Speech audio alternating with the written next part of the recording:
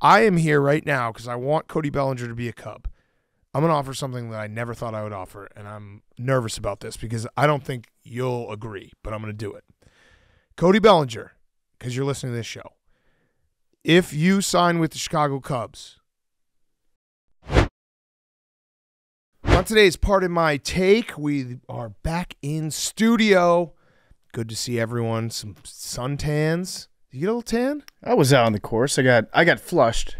I got a little tan. Hank got a little tan, little sunburn. Mm-hmm. Uh, Jake, you get a little sunburn. Yeah, a little bit, but I put on some sunscreen. Max is sick. I want to get Uh, that golfer's tan. Was it Paul Azinger that had that one, or Stewart Cink with Stuart the Sink. with the head that was just white? Yeah, you need a you need a bald head though. Yeah, that one rocks. Well, just wait a couple years. Yeah. Uh, we have a great show though. We're back in studio. We're going to talk maybe a little fix on the NBA All Star game because people are very upset about it.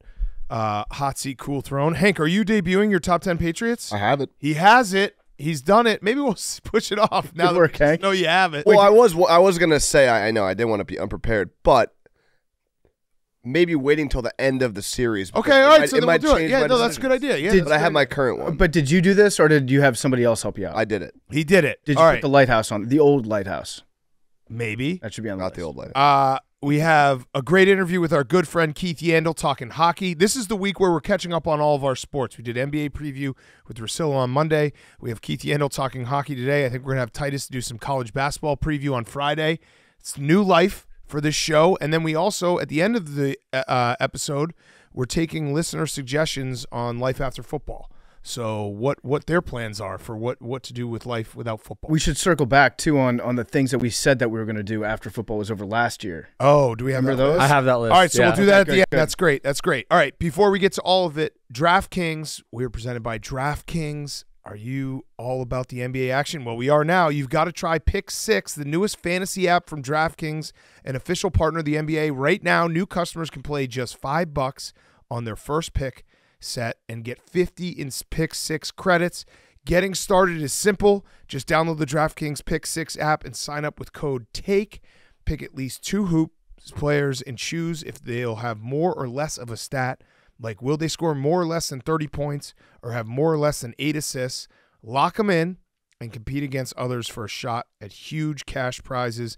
Download the DraftKings Pick Six app now and get started with code TAKE. New customers can play just five bucks to get 50 in Pick Six credits only on Pick Six from DraftKings with code TAKE. The crown is yours. This is an awesome contest. Go check it out. Five bucks. You can play and you can get up to 50 in Pick Six credits. So download that DraftKings app right now, the DraftKings Pick Six app, and use code TAKE when you sign up and make sure you're playing with DraftKings. Okay, let's go.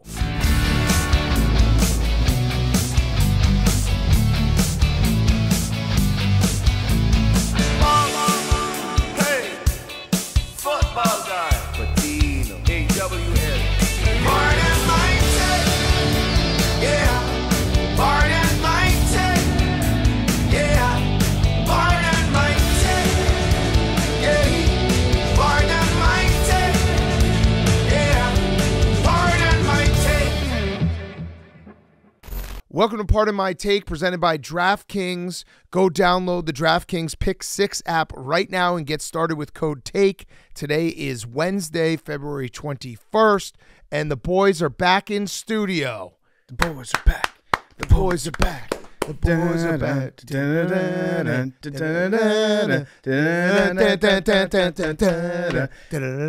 Kind of rocks being back in the studio. Not gonna lie. I'm gonna fade it out. Guess who just got back today? Remember when it was Rex Ryan and Rob Ryan walking together? Yeah. They played that song. That was the coolest fucking video ever. Uh, we're back. We're back. It is uh uh, great to be back from vacation. Everyone feels rested. Well, I did feel rested, Big Cat, until I watched the NBA All Star game. Oh, And man, did I expect more out of that one. puke. Uh, so I actually didn't watch the NBA All Star game. I did not either. I've never felt smarter in my entire life. Went back, watched all the highlights, of which there were one or two. Uh, Uh, the highlight was really Adam Silver after the game, telling the it was the Eastern Conference one. Uh, congratulations on, I guess, scoring the most points tonight. yes. no, I, I thought so. So there was that highlight, but the real highlight for me uh, was Bob Ryan tweeting, "If you're not personally offended by uh, by this," uh, he wrote, "but but I assume he meant by. If you're not personally offended by this disgraceful farce taking place right now in Indy, you don't love or understand basketball. These quote unquote all stars should be censured. And they're and where are the coaches? Have any of them have any pride? They're all acting like athletic court gestures. I love that. I, I would like to see a coach try to get players to play in the All Star game, like have them do uh, suicides before the game, have them go out there run three man weave. Like let's get come on, let's lock in, do a full court press. Yeah, well, th- th- there's another one. He had one earlier that I missed. Uh, he said, once again, these NBA stars are showing no respect for the game. It's another dunkarama and three point farce. Not a single hand in anyone's face. I'll see how TCM is doing. See you next year.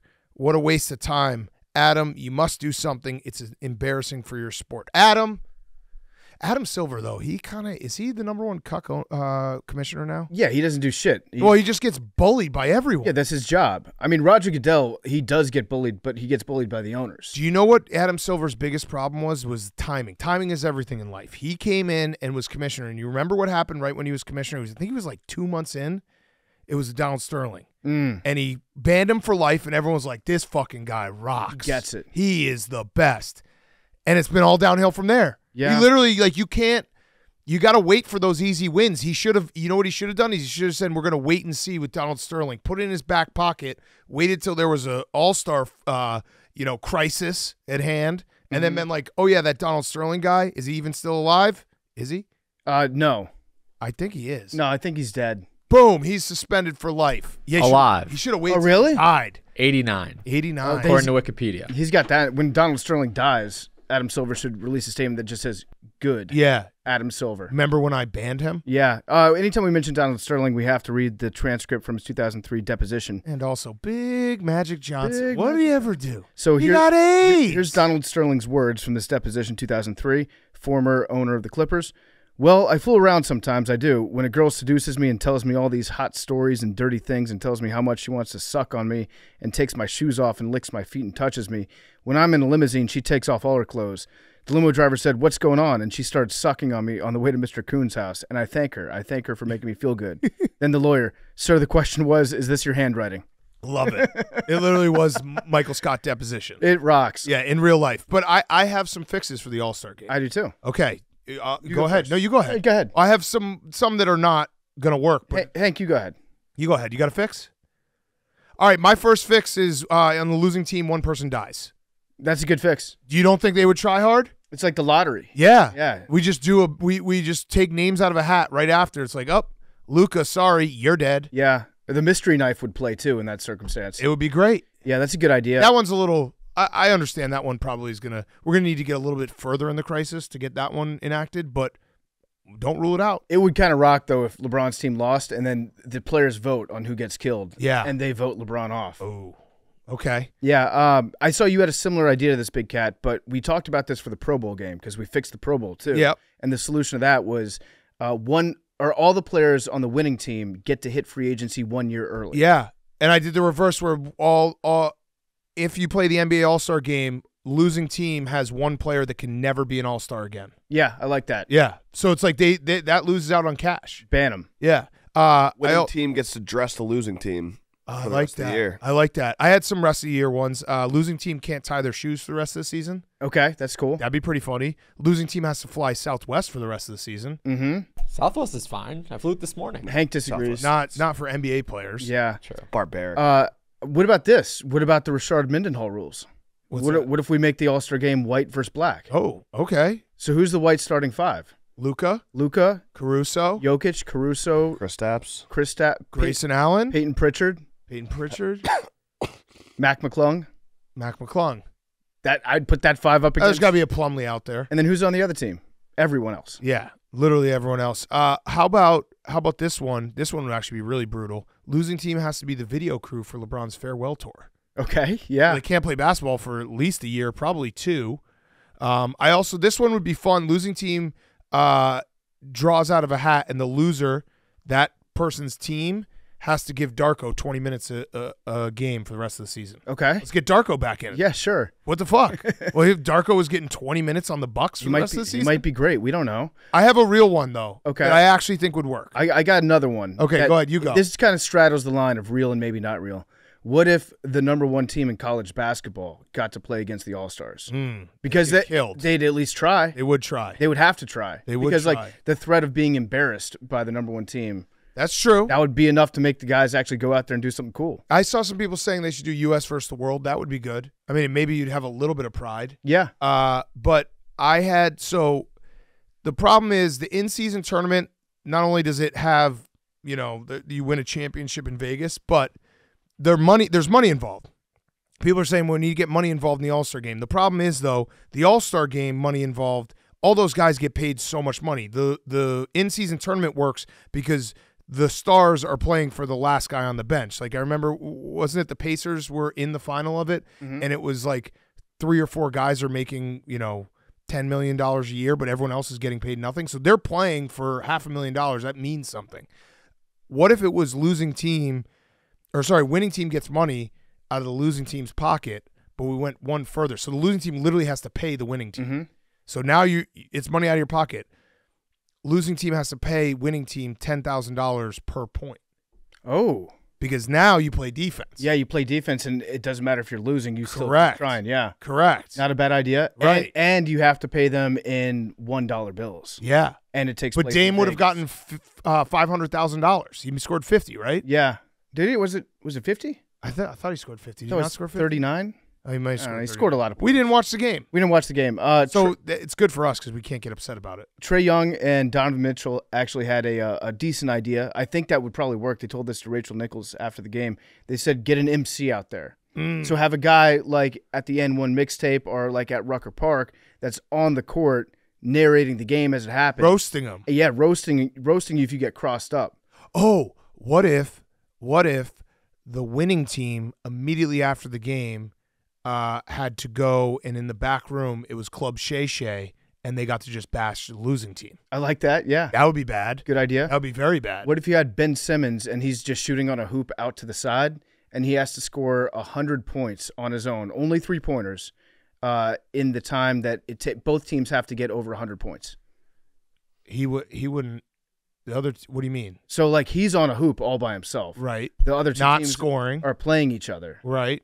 And he has to score 100 points on Oh, his own. so it's a challenge for Ben Simmons. challenge for Ben Simmons. Yes, See if I Ben like it. Simmons can, can beat the two teams to He 100 cannot. points. He cannot. Probably What if not. the game doesn't end till they hit 41 free throws in a row? Oh, We'd still be there. they'd be there forever unless they got Scott Morris from UNH. Shout out Or uh, Spencer. Was that the guy's name? Spencer the, the ringer. ringer. The Jerry ringer. Ringer, The yeah. ringer. yeah, the the ringer. ringer guy. By the way, we have shirts. Hank, go grab one of the shirts. With the 41 free throw shirts. I don't know about you guys, but I uh, I don't think I said this on Sunday's pod, but I got to Mexico and I got to the house and I immediately slept for eight more hours. Yeah. I was like, it was first day of vacation. I was like, I'm gonna do some more sleeping. Yeah, you forget how much an all nighter takes away your entire world. Yeah. Like you don't feel like you're alive for about two days. And you and you convince yourself you're not tired, and then you like close your eyes for one second, and eight hours go by. yeah. Oh, Yeah, the- 41 shirts free are throws. Awesome. I really do think that the paying the the losing team paying the winning team would work because guys don't want to lose money, and especially if you if you tied it into the point total, guys would play defense. But at the end of the day, who cares, right?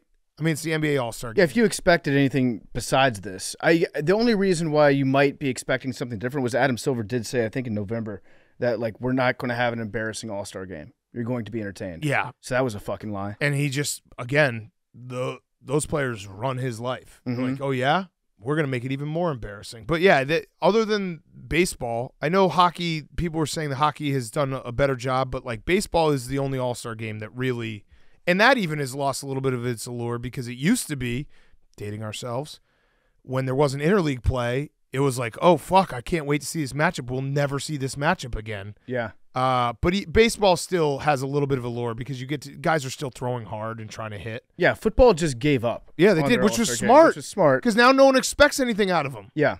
The NBA should just give up. Why? Give up. Why? It's way easier to give up. It's way easier to give up. Then people can't complain. The football one, they get the advantage because it's the end of the year. Yeah, but I think even I don't know, basketball they would. Basketball, you could just tie it in the in-season tournament.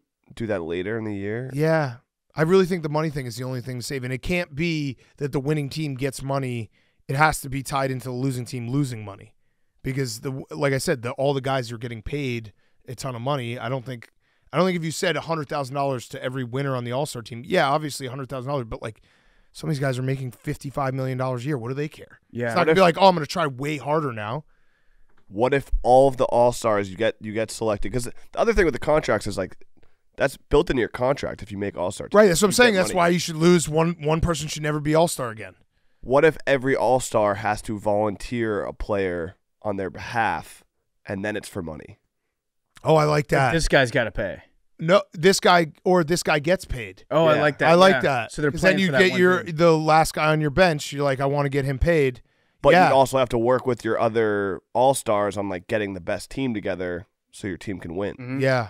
Okay. Well, we fixed the All Star. Or if it was money, what if it was money that got paid to whatever college you went to? If you went to college, because a lot of those guys they like gassing up their alumni. Yeah, I think a lot of them don't.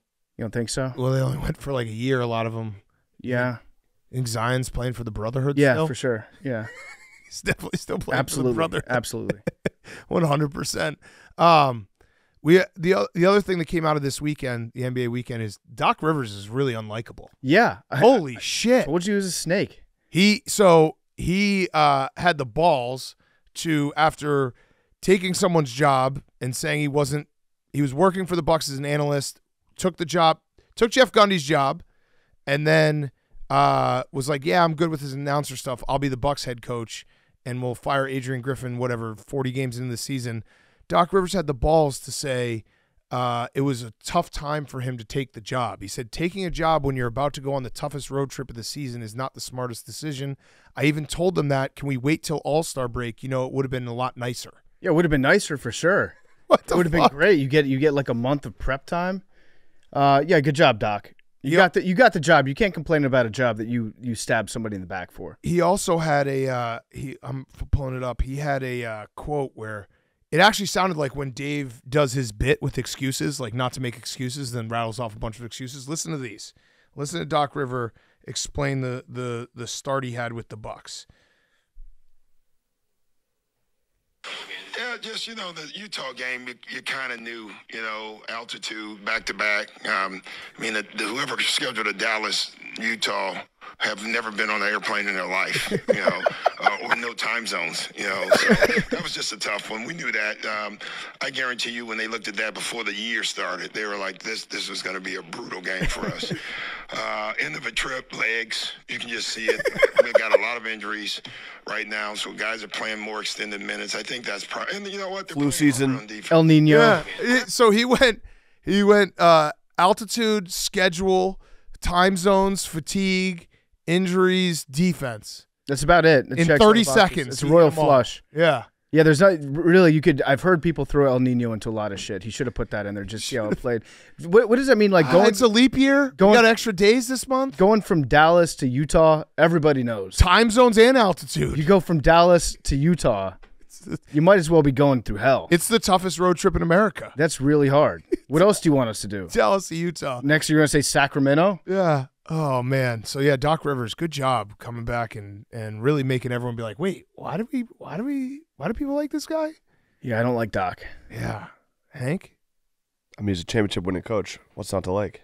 Um. All right. What else we got going on in the sports world? Pitchers and catchers did report. Yeah, and there's a bunch of there are a bunch of baseball players that aren't signed yet. Yeah. So I, I- I don't was know- one of my hot seats. I don't know what's gonna happen with that. All right. Well, we'll save it for we'll hot seat it. cool throne. Um. I'm excited about baseball though. I'm excited I'm about very baseball as well. Dingers only.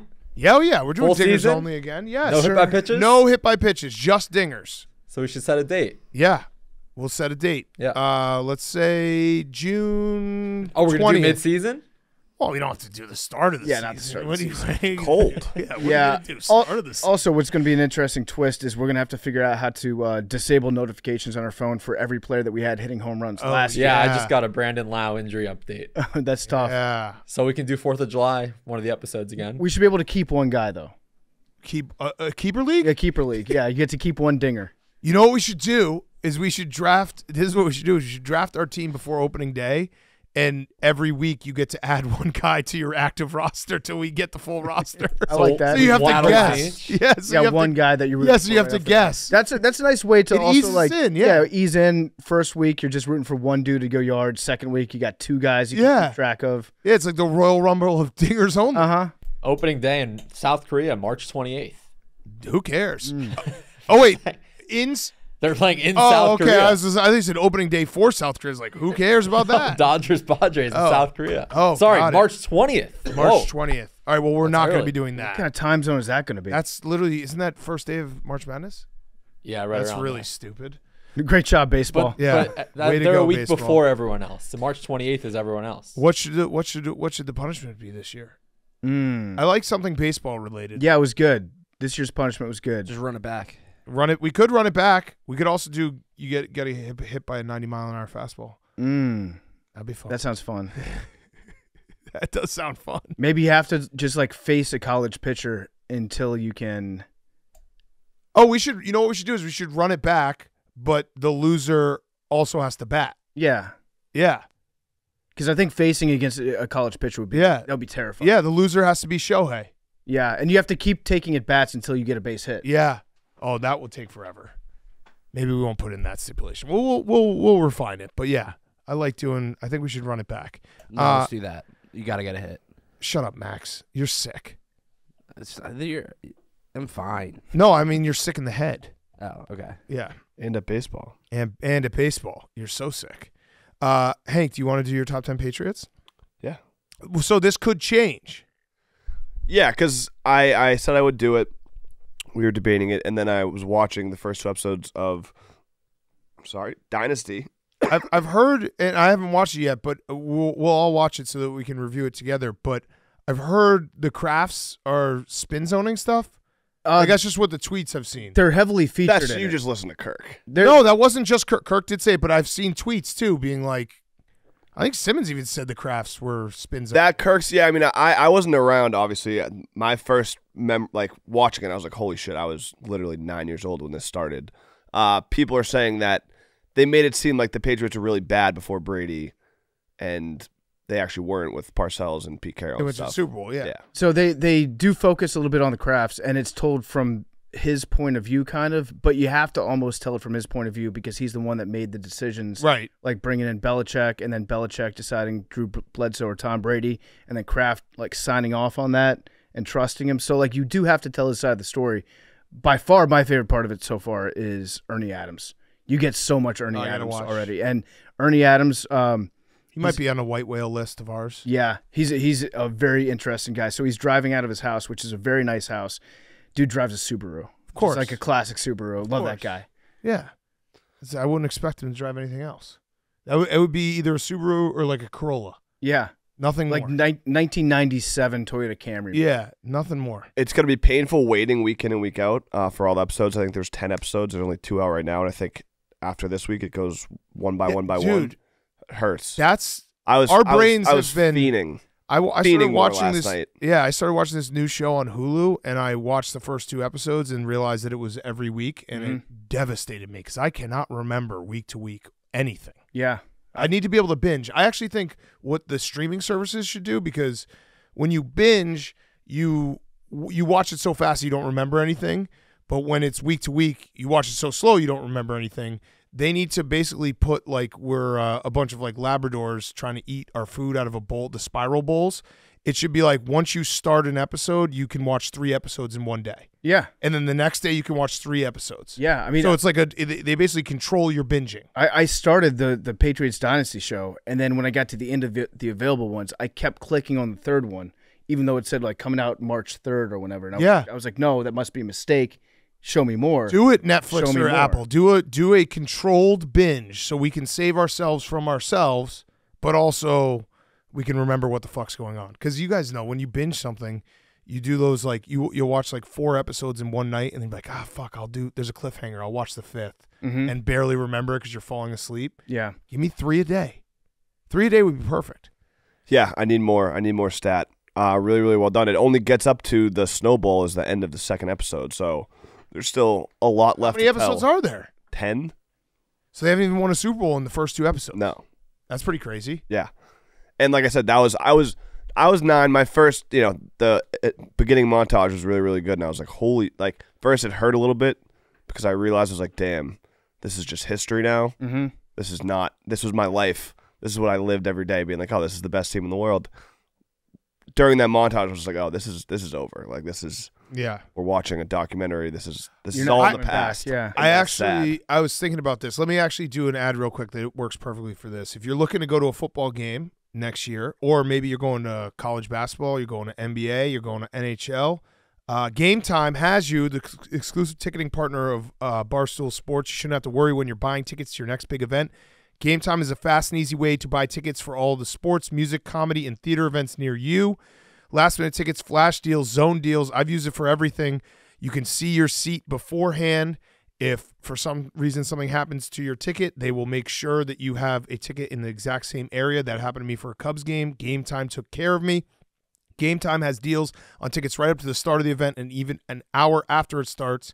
It's the place to find last minute seats, find exclusive flash deals and sponsored deals on tickets for football, basketball, baseball, concerts, comedy, theater, and more. With zone deals, you pick the section and Game Time picks the seats for an average of 18% savings.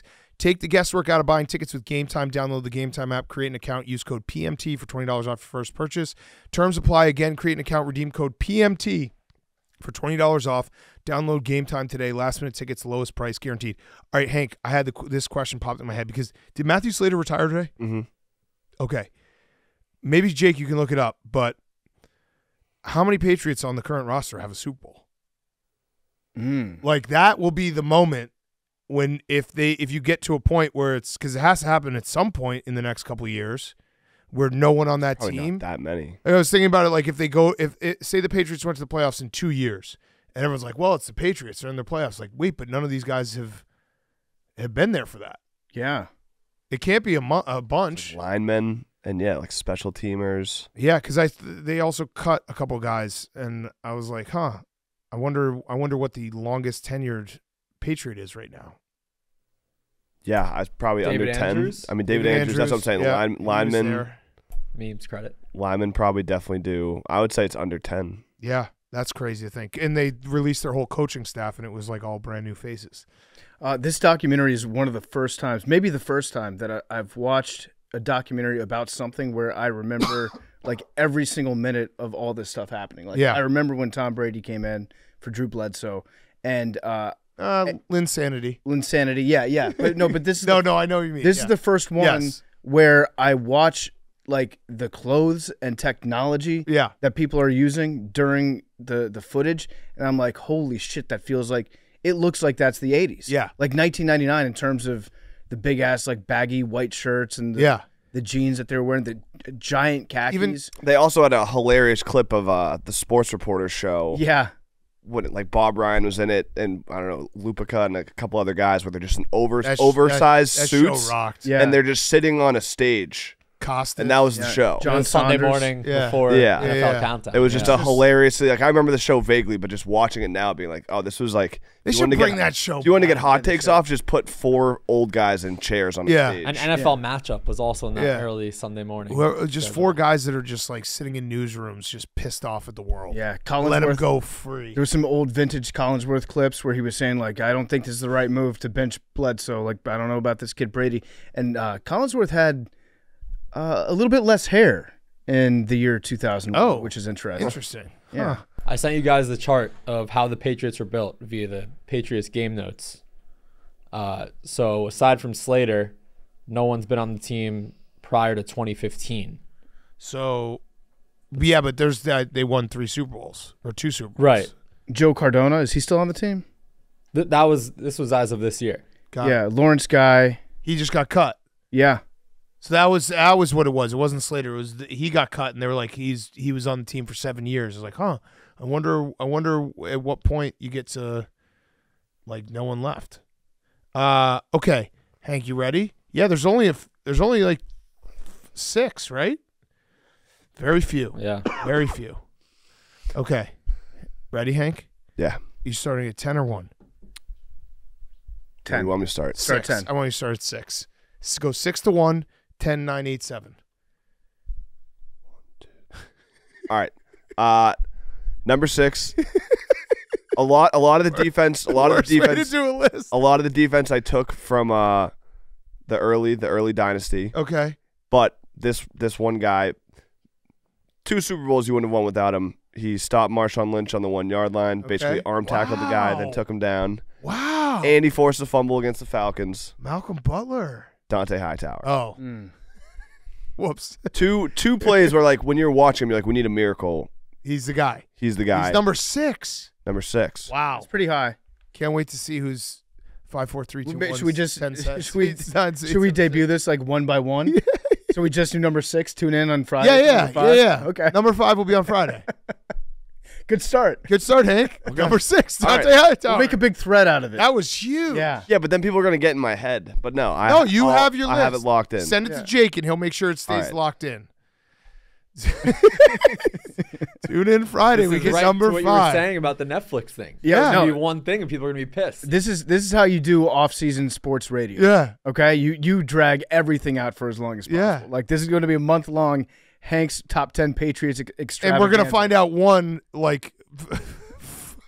we're gonna find out one and still have to do 10, 9, 8, 7, Wait. 6. Who do you think number one is, Big Cat? three, four, five. Okay, that was six. Uh, I th- I, I'm very interested to see who number two is. Well, you sent me twelve. Oh, yeah, well, one's a honorable mention and one's the lighthouse. I'll spoiler, okay. but that one doesn't really. The new one. Yeah. That hasn't won shit. We should have started with our honorable mentions. I only have one on the list. What's your honorable mention? On Friday, we'll debut Dont'a Hightower. Um, because just my favorite player as a kid, Bethel Johnson, kick Okay. returner, Okay. electric. Okay.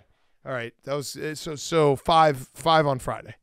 Five on Friday. All right. Defense. Oh, Tedy Bruschi, No. Mike Vrabel, Nope. Vince Wilfork, Nope.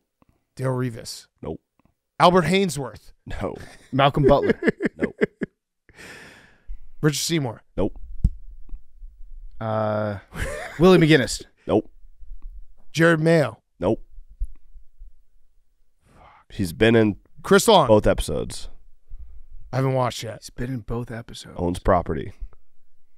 Owns property. I think that's probably all. Oh, uh, Ty Law. Yeah. What? No, but we don't know. We, don't know. We don't know who it is. Number five. make, make him tune in. Who's this? for offense. Yep. Mm. Oh, that's got to be uh, Jules. Eric Gr- Receiver and recurring guest of the show. It's got to be Jules. All right. Cordero Patterson. It's Jules.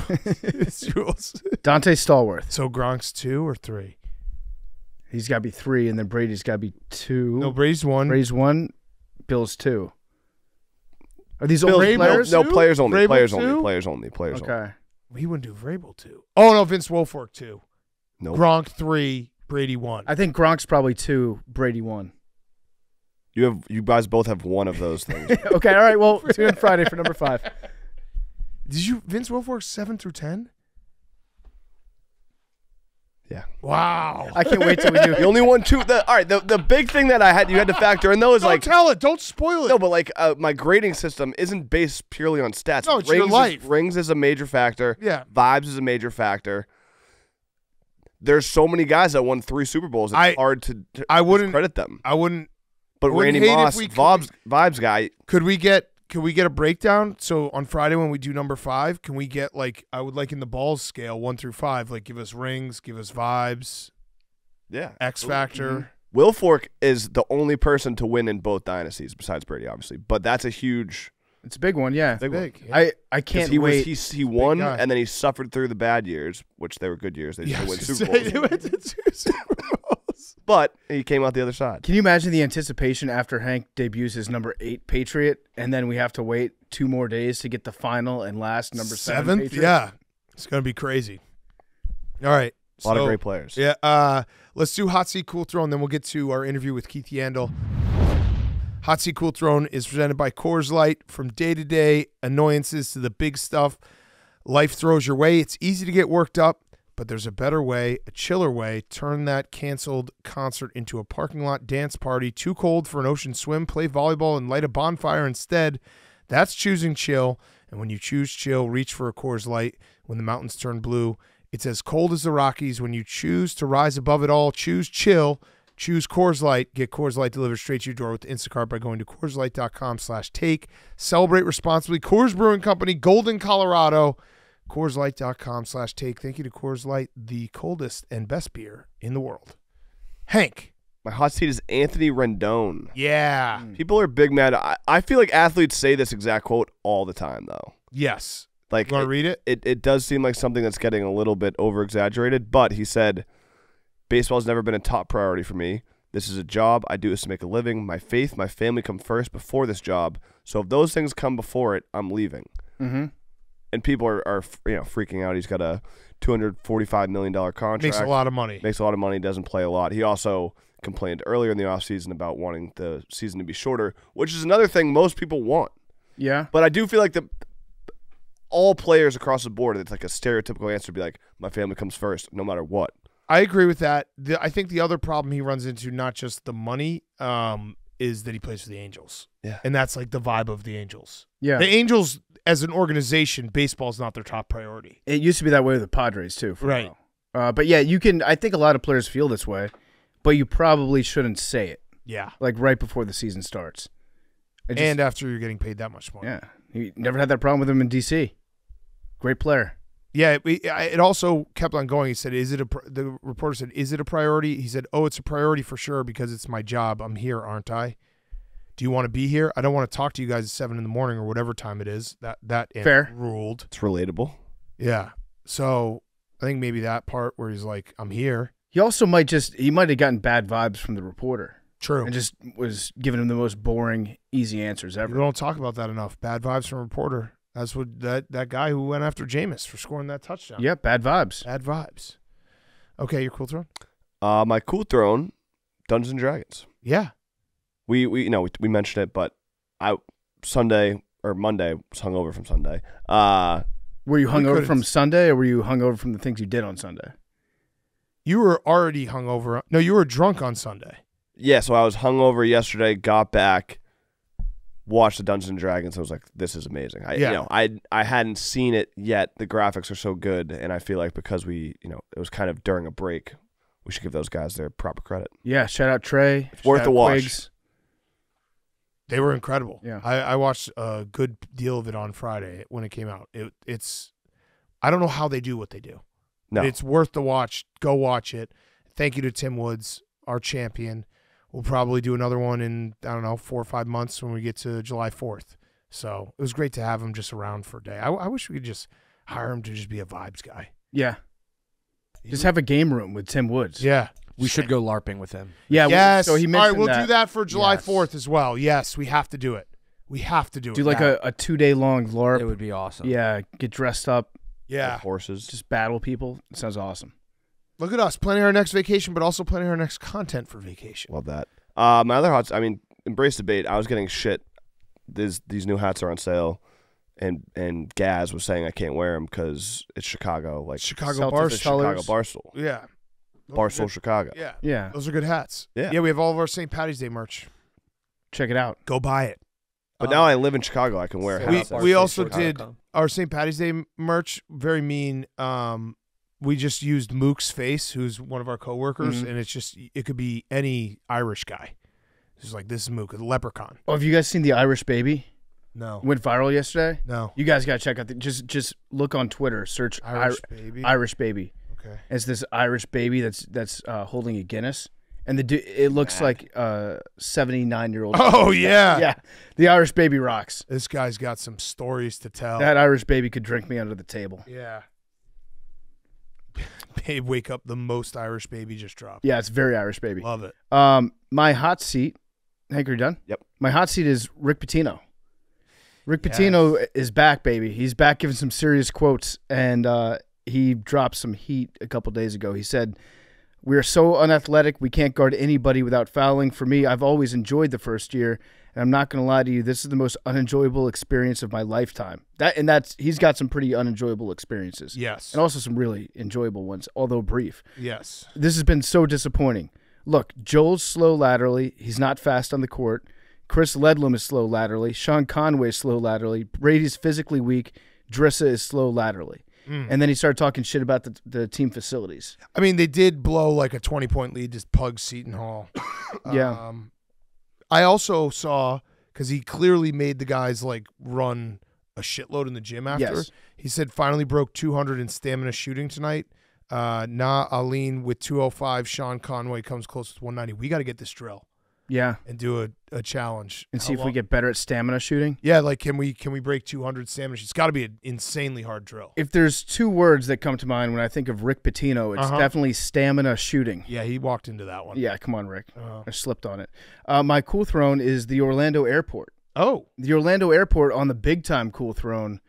They're now selling passes for people to go inside the airport, shop and dine Chili's. without getting on a plane. Chili's is pre-security.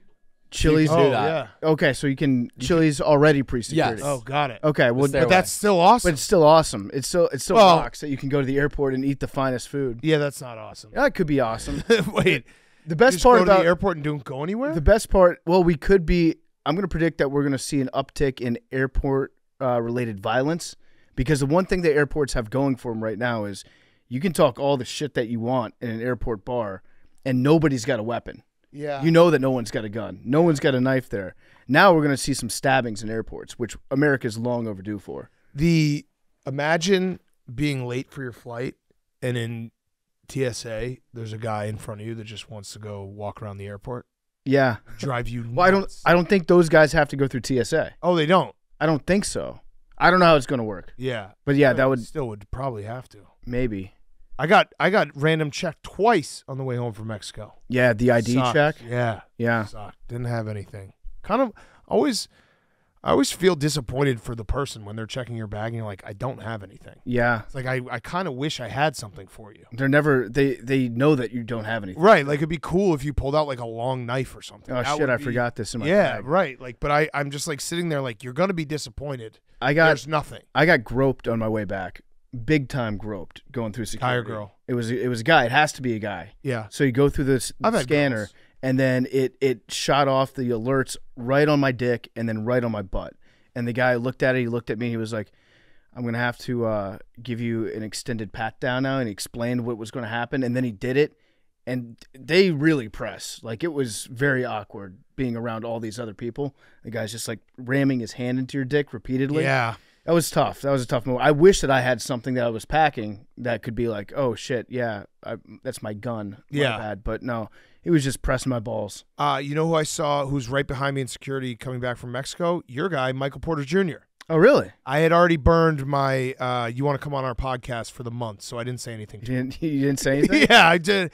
I'm still a little gun. I think you get one of those a month. Yeah. Did you? If you had like I a used micro- it on Mark Davis. if you had a microphone in your backpack, you could have been like, oh yeah, they found my microphone. I forgot to take that out because I do a podcast. Podcast, Michael Porter Michael Jr. Porter Jr. If you're interested, new Yeah. media. That's gotta kind of suck though, because like no one really recognized him.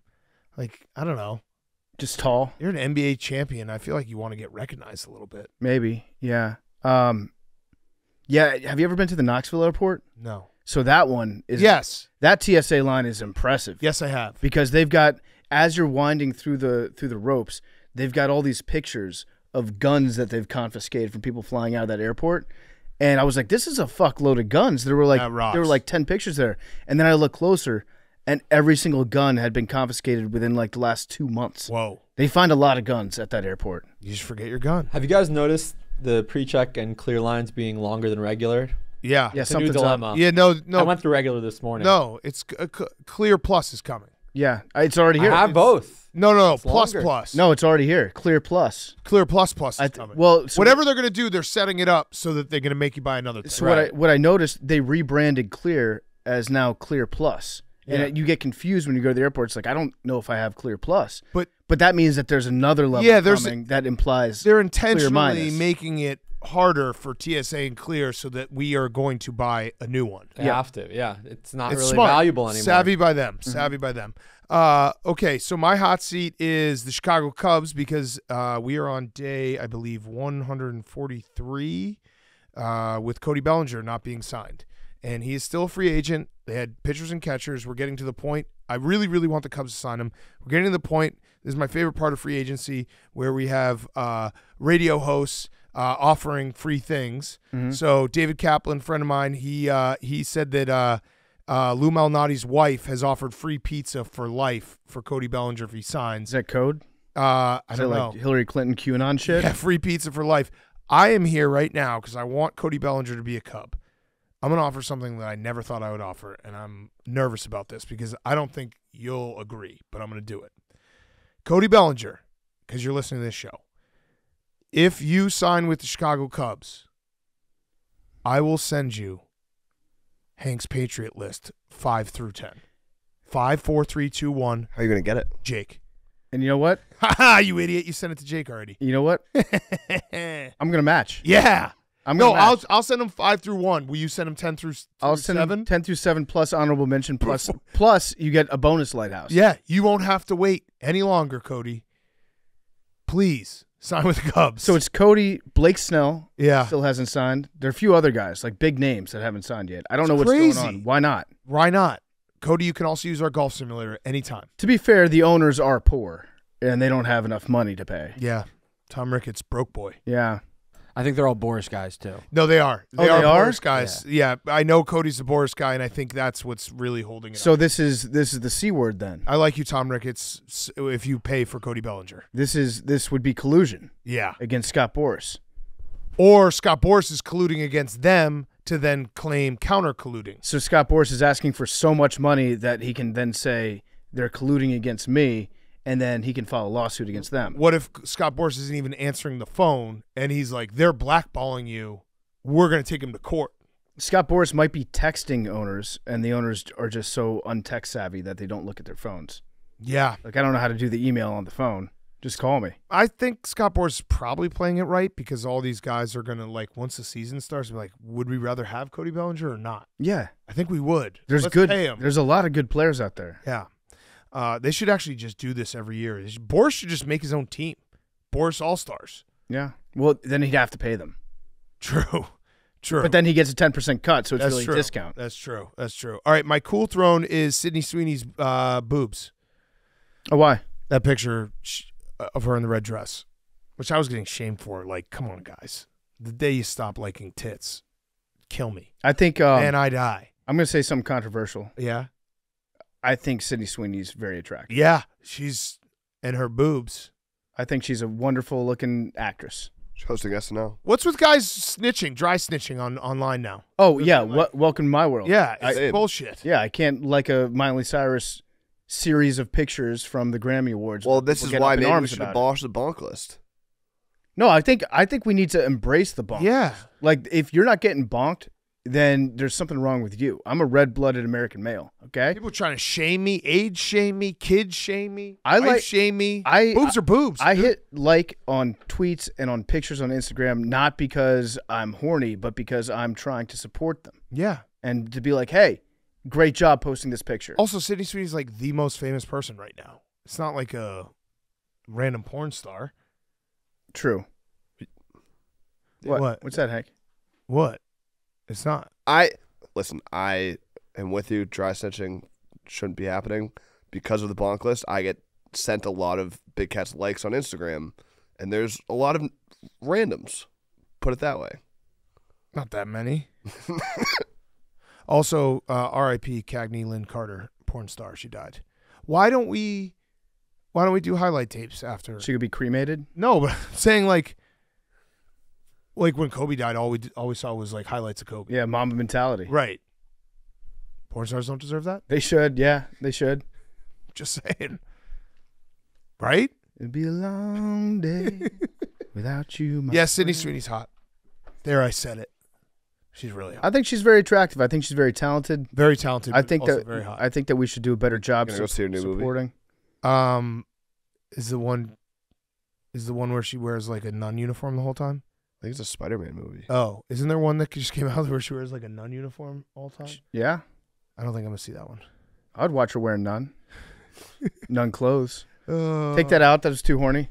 It's called Immaculate Immaculate. in Ah. theaters March 22nd. No, she is a very good actress. I mean, listen, Euphoria. What was the uh, White Lotus? When's that coming back? Yeah, White Lotus needs to be back, White Lotus was awesome. but don't make us wait in between episodes. Yeah. Uh, okay. They, I think they released what the hotel was. It's in like oh, they did. Malaysia Yeah, or something. yeah. Yeah, somewhere like that. Uh, Jake, Uh, my hot what do you seat- think about Sydney Sweeney's boobs? Yeah. Okay, all right, nice. Yeah. There's Jake's review. It's Mr. Position. That's a yeah. hey, Max, what do you think about Cindy Sweeney's Max boobs? is out on them. Yeah, you're out. No, I like them. Yeah, how much do you like them? I, they're they're they're nice boobs. For a while, we were shaming women for their breast size. I think don't Hank was we talking should do about that Mad- Madame Web, by the way. Oh, Yeah. That's that's that's Spider Man. I'm not gonna see that she just- either, 'cause How's she like just in every movie? she's She's a hard worker. incredibly This is like three working. movies in the past three months. Yeah, she's incredibly hard working. Uh, Jake, your hot seat cool throne. Uh, my hot seat's Notre Dame. We had Yeah. the official announcement of how the college football playoff is going to construct their 12 team bracket, and it was announced that the four highest ranked conference champions will be seeds one through four, which means if Notre Dame is the best team in the country, I thought it was five. They would get the number five. I think seed. it's five. Yeah. So the five seed. Yes, five seats. So Notre Sorry, Dame would they get would the get the six. bye. That would, that would be very funny if they just designed these rules and they're like, "Yeah, fuck you, Florida State again." like we're gonna take, we're gonna take all the other conferences. But yeah, Notre Dame. Well, there's only four left. Major. yeah, Notre Dame. Are they going to? Are they gonna have to join the ACC? I think they would join the Big Ten before the ACC. And then so they take all their other sports out of the ACC. yeah, because I don't think the ACC is long for this world. Yeah. It would be crazy if they joined the ACC. So that'd be wild though if they joined if they joined the Big Ten, then you'd have like Notre Dame, Michigan, Ohio State. Only one of them would get the top seed. correct. Yeah, wild. Also, but this is a good way to do it. Big Cat, I'm surprised you didn't put Justin Fields on the Bears on your hot seat. Oh yeah. Well, Jake, funny you say that. Um, he unfollowed the Bears. You know who he didn't unfollow? Me. sick. Yeah. I didn't know. Tom Fornelli actually told me that. That was Uh, my other thing watching the uh, the Dynasty documentary. Oh, that wasn't about the Patriots. Well, no, I'm wondering. Like, it's like uh, it was. It was good that the, the that Brady had time to develop. He wasn't Tom Brady. You know, even that was his second year in the league. if you have a rookie is a quarterback with a lot of pressure, it's it's that hard. was an incredible segue. I was thinking about you when I was watching that documentary, being like, "Damn, Justin Fields. I, I really I really wish we could somehow like take events that happened in the past, bring them to modern day, and and know what the discourse would be around them. Yeah. it's like the Tom Brady game manager Super Bowl winning discourse would be so fun to. oh, they threw that line in too." And like, Tom Brady's doing a really good job managing this game. Yeah. in one of the in one yeah, of the game People would have been going crazy for it. But yeah, that's a good point about the Bears, Hank. yeah. Justin Fields did unfollow the Bears. Uh, Is yeah, it? I don't think it's. I, I think he's probably gonna get traded. So That's what I- like I said. I mean, it could mean literally anything. So it sounds like you're gonna get Caleb. yeah, it could mean anything. Like he doesn't want to play for the Bears anymore. That could be one of the things, or he hates the Bears. It's the most could mean all of these things. I think this is the this is my least favorite recurring storyline in sports. When an athlete unfollows his teammates and like the team official account on social Yeah. media platforms, and then people do it in a story, and it's like, what does it mean? Well, it means that he did that because he wanted you to see that he did that, and then to make a story out of it. Also, maybe it's just as simple as Justin Fields doesn't want to watch Bears highlights in his offseason because That's there's not a lot of them. Yeah, that's true. Like, where he's like, I just, I kind of want to opt out on this content for a The little bit. content was bad. Well, you could mute you can mute it and it wouldn't be a story. He could mute Yeah, it. I would never unfollow any professional team that that I played for. No. it's like once, once, always. Who unfollows people on on social media? Like if I follow you on Instagram, I'm never unfollowing ever. Ever. I'm too lazy to do. Even if you are a porn star and die. yeah, I'll 'Cause- s- keep that respect. because what if one day it, it posts again? Right. That's that's got to be such a nice surprise. Yeah. All right, Jake, your cool throne. Uh, my cool throne's the shot of a lifetime. oh. I'm back in the booth Jake is. Oh. for some golf Nice. next week on PGA Tour Live. Wow. Mm-hmm. Yes. Hell yes. I'll be doing a couple of events with them this season. First up, the Cognizant Classic in the Palm Beaches. We've got a great field that have committed so far. Rory, oh. Ricky, Oh. Matthew Fitzpatrick, who's been on the show. No Max. I don't think we're gonna get Max. Fuck. Yeah, but He probably has diarrhea butt from last week from all that In and Out. Was it the In and Out that gave people the shits? Is that what was That's happening? what they were claiming for Tiger. Also, you didn't eat In and Out in Vegas, Hank. You've I did. changed. Oh, you did? Yeah. Oh, okay. Me and Jerry went after the DraftKings shoot. Oh. Oh, yeah. good, so good. tune in Thursday yeah. through Come on. I was with you. Yeah. yeah. I was worried that you didn't. No. Uh, that's awesome, Jake. It- Everyone tune it- in. Thank you. It it did give me the shits. Oh no. Yeah. So I A little only bit had of that going around. Who else is on the call, Jake? Uh, TBD. Also, shout out the Water Dogs finishing second. Good job, Yep. Mac. Mm-hmm. You fucking loser. You said you wanted to lose. Let's go, Philly. Yeah, well, things change. It's Nope. called material Nope. change. Nope. It's called fluidity. I think it's perfect. I think Yeah, no, I didn't want to win that. I did not want to win that. It was fake. Well, let's win the real thing, right? it's preseason. What are the, the, the Ravens? No, we want to win the This real is deal. basically the equivalent of the in-season tournament. Don't want to win you that can either. still hang a banner, No. and it means something. no, it does not. but It does not mean anything when you win the in-season tournament. Oh yeah, Max does have to hang a banner, uh, second place. Yeah. No, Y- y- That we agreed upon that, Max. no, I never agreed on anything. We agreed on it. You All of us. agreed on it. All I did agree on it. You agreed on it. Hang the banner. Hang the banner. Hang the banner, bitch. Uh, okay. Let's get to our interview with Keith Yandle. Great interview. Talking hockey. Before we do that, PFT, you got a quick word from one of our sponsors. Yeah, before we get to Keith Yandle, he's brought to you by Raising Canes. I love Raising Canes. Basketball, hockey, and tomorrow even baseball will be in full swing. That means it's a perfect time to kick back and relax with a Raising Canes box combo and enjoy the game. I love Raising Canes. I love the uh, the bread there is elite. You got the crispy tenders. You got the crinkle cut fries, which are actually I think the perfect fry for dipping into ketchup. You get all the grooves saturated with ketchup, and they got the cane sauce.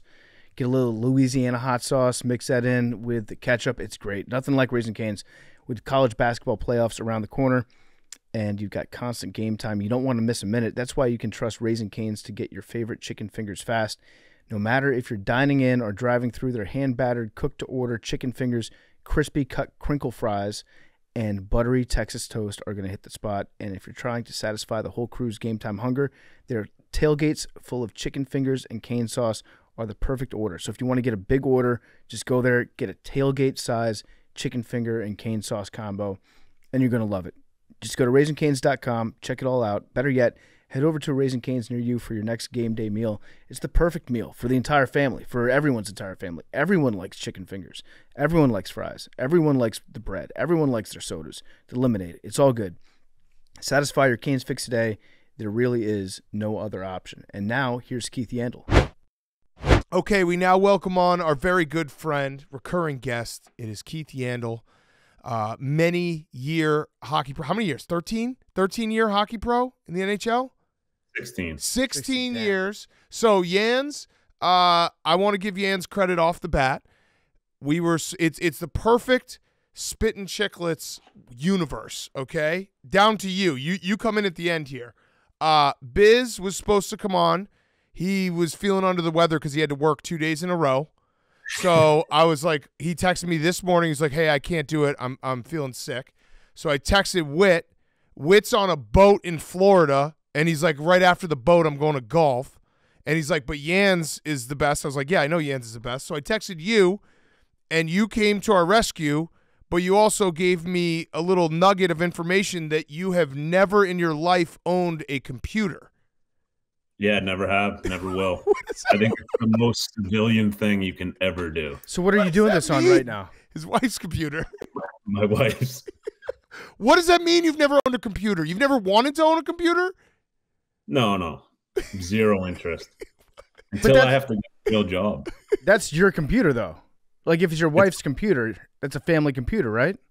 No, it's like her work uh, lap, laptop. So, so us call calling you up like she's got to take a break from work right now because you got to use the one computer in your house. Well, the kids have them too, but I think they're at school with them. Um, yeah. And I was on a boat and golf this morning, but still found a way to make this show That's a grinder. That's- That's, yeah. a hockey player. What about growing up? Like growing up, you didn't have a computer for book reports, things like that. No, did you guys have computer? Actually, No. we got one. We got one when I got drafted. It was like because um, the year I got drafted was the lockout year, so they did it all online. And my parents went out and bought a computer um, to see where I was gonna get drafted. yeah, that's. I mean, we are all of, of of similar age, and it was. I remember we we got our first computer in my house like maybe it was like late late nineties, and it was just one computer for everyone. So like when you start looking porn, you're like, oh, this is gonna be bad. You get a virus, you're like, fuck. The next person, like my mom's gonna look up a recipe on this computer, and there's gonna be pop ups everywhere. That was just you had to go through some shit with the one family computer. Oh yeah, it was a grind downloading on Napster, just you know, hearing your dad coming up the stairs trying to delete things. Um, But it wasn't good. So wait, you when you were on the road for 16 years in the NHL, you never were like, hey, maybe I should get a computer. Like, what did you do when you were on planes? Like, watch a movie? You just, you just don't have a computer. Well, when it first started, it was remember everyone had those uh, DVD players that like you flip up and then there'd be a so everyone would buy their own DVD player, and then there'd be a ton of DVDs on the plane. Uh, so I'd just bring that, and then um, I, I mean, I have a uh, um, iPad. Oh, okay. Okay. All right, that's computer adjacent. Does the iPad have like the the keyboard that connects to it? No, God, no, I can't even type. I love it. Because I fall asleep to my iPad. I have it on like the desk next to my bed, and I uh, I just I, I strictly have it for that. I have Netflix, Amazon, um, HBO, whatever, uh, uh, just on that, just to watch before bed. We got to get a, a typing contest between you and Biz because even though Biz owns, I'm I'm assuming he's owned several computers in his lifetime. I think you could still beat him. Yeah, his buttons are probably all stuck together though. From That's facts. That's facts. Uh, from the flu. Uh, all right. So we we wanted Yans on to talk a little hockey. So uh, we're we're now getting to the end of February. We're getting what a month and a half away from playoff hockey. My first question was, what is the dog days of hockey? What part of the season? Because we know it with you know football season. You'll get to mid season and and you'll see some guys hitting the wall. Baseball, you get to like mid, early, mid August, and it's like, oh man, this is a grind. What is that in the calendar for hockey players? I think they've gotten a lot better with it. Um, especially, you know, my first, you know, maybe seven, ten years that it was just a grind. Especially, I was we were on some bad teams in Phoenix, and guys are getting traded. Guys are hearing about getting traded. So there's a lot there's a lot of stuff going on behind the scenes where you're like, oh god, you know, every day is just kind of like. And that was before the old. Um, nowadays you get four days off a month. That was before that. So you were practicing every day if your team was bad, but nowadays it seems like you know the teams are well aware of that and you know they're putting together whether it's you know family trips uh mother trips father trips siblings trips uh i think they're doing a lot of good things like that but i remember a couple times in phoenix you know we would go to vegas for a couple days kind of have a team bonding um play some golf go- hit the casino um you know new york was really good with it as well. You, if you had a couple couple games where you're in strictly cold weather we'd come down to florida a couple days early to golf or whatever um, so i think i think the league uh, the teams have done a really good job and it's probably because a lot of gms are ex-players now so they kind of realize that those dog days are real um, but i think it, the, the majority of the thing is keeping it the, the, the best thing was to have a, um, a rookie party around this time but if your team's out of it, then you know the coach is like, all right, we can't go too hard. You guys are playing like shit. But and then if you're, you know, at the top of the ranks, then you're like, all right, we don't want to go too hard. We don't want to take our foot off the pedal here. So there's kind of a, a little bit of a, a gray area in both, but it seems to me the last, you know, probably 10 years, it, it, the the league's gotten really good about kind of taking care of these dog days and making things light and, and, and easy, easy for the guys. Yeah. Yeah, you were talking about the rookies. Um, the guy on the Bruins that made his debut yesterday is it is it Morelli? Yeah. Yeah, so he scored in his debut, and I was I was watching it. I thought to myself, like, I feel like there's a lot of rookies who score in their debut. Is that just a, is that a thing I'm making up, or is that an actual thing in the in the NHL? It does seem a little bit more uh, nowadays. Before it was, I think my first game I probably played seven minutes, but you know nowadays they're, they're throwing guys into the fire, getting guys getting guys right into it, playing on the top lines. You know, not really putting guys on fourth lines where they don't aren't getting chances. So I think uh, they're setting guys up for for for success. But yeah, it definitely definitely seems that way. And how about the kid in, in, in New York playing his first game, the outdoor game, fought first second of the game. Um, I think it was on the anniversary of his dad passing away like six years before that too. So that was a cool story as well. Yeah, yeah. I mean, hockey always has those cool stories that pop up. I wanted to go back when you said, uh, you know, you played on some bad teams. How much does this part of the season suck if you're a bad team? Because I know, like, the Blackhawks are a very bad team. Connor Bedard uh, obviously just came back, which is good, but are uh, like are guys like this just fucking sucks? I want to get out of here so bad. Yeah, you you- see a lot of guys either planning to go play world championships or planning their summer vacation right after the season. So it's uh it, it's tough. And then the worst part is if your team's bad, then at the end of the day, it means people are going to get traded, and you know you're losing friends. You got to pack up your family and move. Um, so a lot of things like that. And then you know teams are bringing up guys from the minors. Then you know you're worried about your job. You, you so there's no real downtime if your if your team's playing bad. You still got to produce and and go out there and give 100% effort and um, but it, th- there's definitely some some times during the seasons where you're like oh man we're really doing this again I can imagine, yeah, especially like around this time of year, where if if there's no like real light at the end of the tunnel, you're just like, I guess, I guess I got to be a pro. I guess I have to show that I'm professional. Yeah. yeah you're waiting for the 15th and 30th payday Yeah, pretty Yeah, good. yeah. pretty good. Um, we have we have this debate with every hockey guest that we have on here. Uh, what is the difference between an upper and a lower body injury? Mm. I think bel uh, anything below the belly button is a lower body injury, and anything above the belly button is an upper body injury. Okay, I agree with that because we've had people that, that say waist, and I think that's bullshit. I think it's the I think it's the belly button. Yeah, all right. So we're on the same page. Did Yeah, you, good call. Did you ever get injured and you were like, "Can I just say what it is? This is bullshit." Like people don't because sometimes I'll see like an upper body injury and be like, "Oh, he can get back out there," but like, no, his shoulder's broken. Why don't they just say that? Yeah, I don't know why. Because at the end of the day, that the other teams know, like, you know, if a guy's shoulders hurt, the way he's you know lumbering around out there, or if his his knees hurt. Especially now with video, you you, you see a guy going into the boards the wrong way. You're like, oh, he hurt his knee there, or hurt his ankle, or hurt his shoulder. So. I, I think throughout the league, everyone kind of knows, but I, I, don't know why they don't say it in the media. But uh, you know, it's kind of one of those cool things that hockey does, where it keeps guys on the wrap. I, I think originally it started so you know if guys were up for a contract, then you know they, they couldn't use it against you. Oh, Yeah, that I like sense. that. I always assumed it was so that the other team wouldn't target you. If they knew it was a knee, then somebody might make a run at your knee.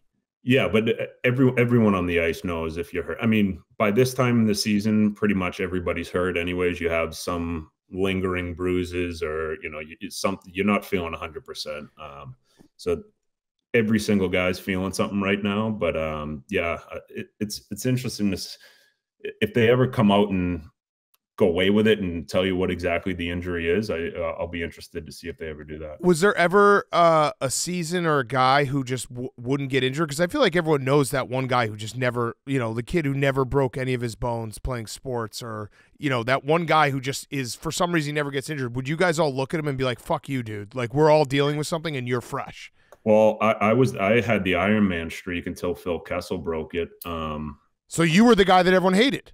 probably, but I don't know because I mean I didn't really play the type of game where I was putting myself in vulnerable spots, and um, you know, yeah, th- there was a lot of guys.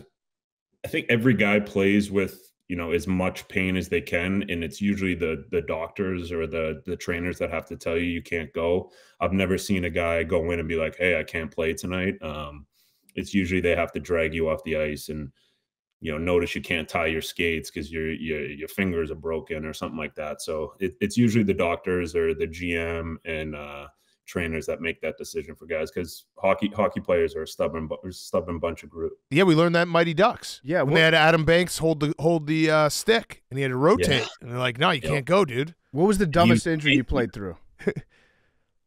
the dumbest one um looking back pro- when i was in new york I I had a grade three separation. I got a first game of the playoffs and we ended up going to game seven of the eastern conference final so every day i was shooting it or not every day every game i was shooting it up um you know having to have the trainers help me put my jersey on uh it- things like that. And it but it's also it's during playoffs so you, you just want to be out there you want to be playing you want to be contributing so but that that one was probably the worst one and you know getting back healthy from that one took a little bit longer because it was uh you know something i was dealing with for for quite a bit Yeah. Yeah, Jens, I know that you're you're a sports fan. You're deep balls deep in the discourse about other sports too. Um, we've had some discussions about how analytics uh, might be ruining or might be improving football, basketball, uh, in ho- ruining basketball. ruining basketball. I think improving, but also ruining football because big guys can't get uh, NFL head coaching jobs anymore. Um, but in the NHL, what is it? What is the uh, what impact has the analytics revolution had on the sport? Is it good or is it bad? i hate it i know, I know nothing um Too many computers. Guy, guy who doesn't know a computer. That's a shocker. I probably wasn't a great analytic guy either, but it also doesn't, you know, contribute to the good times in the locker room or on the road. So you, you're not you're not getting that in, in analytics. But yeah, I was never a big fan. Um, I think there's some good things about it, I guess. But I, I, I honestly couldn't even tell you one what what an analytic really is. I I've, I love that. what an, what you can't if you walked past an analytic on the street, you would not recognize it. Absolutely not. They have like whole, they have whole team, like a whole group of people within the teams now that kind of take care of that, and they're literally just in their computers all day. It's like just go get a real job. what, one the one thing that analytics has done in, in hockey is it's ruined the shoot the puck guy in the stands because they I I feel like teams are a lot more selective with their shots. They won't shoot from bad angles like they used to, where it's like pucks on net. It's like no, you got to get the good shots. I don't know. I kind of disagree with that because I, I remember guys would, you know, you take a, a shot on net is considered a good thing for your analytics, like the zone time and stuff like that. So some guys, you know, guys would shoot it from the corner just to shoot it on the net, and you'd get back to the bench. Guys would be like, "Oh, what are you patting your fucking analytic stats?" So Oh, so maybe I'm was- wrong. Yeah, maybe I don't know an analytic in hockey either. yeah, but the, the shoot the shoot guy the shoot guy is the worst. The worst thing you can have at, at a hockey game, especially as a guy that I never, I wasn't a big shooter. I was more of a passer, but uh, the shoot guy is the worst. Oh, I love I love the shoot the puck guy because that that guy's sitting in the stands being like every shot in his head goes in. So it's like why not Yeah. shoot the puck? Good things happen. Yeah. I'm big I'm big on it in soccer too. Like why not just fucking shoot the ball? They should shoot more. I agree. with yes, yes. Shoot the ball. Just fucking kick it. Uh, all right, so I know it's tough in hockey because hockey is the one playoffs where you get crazy runs. You get eight seeds winning the Stanley Cup. Uh, but if we're sitting right here, right now, give me the list of teams that you could see winning the Stanley Cup this year. It could go as long or as short as you want it to. All right, I'll, I'll I'll just do two. I'll do two from the east, two from the west. Oh, I Uh, like I'm that. Gonna, I'm gonna do uh, Florida. I, think that especially what they did last year, what they've done this year. Um, you know, even missing missing uh, you know two of their best defensemen earlier in the year, just playing the way that they have. I think Bobrovsky's been amazing.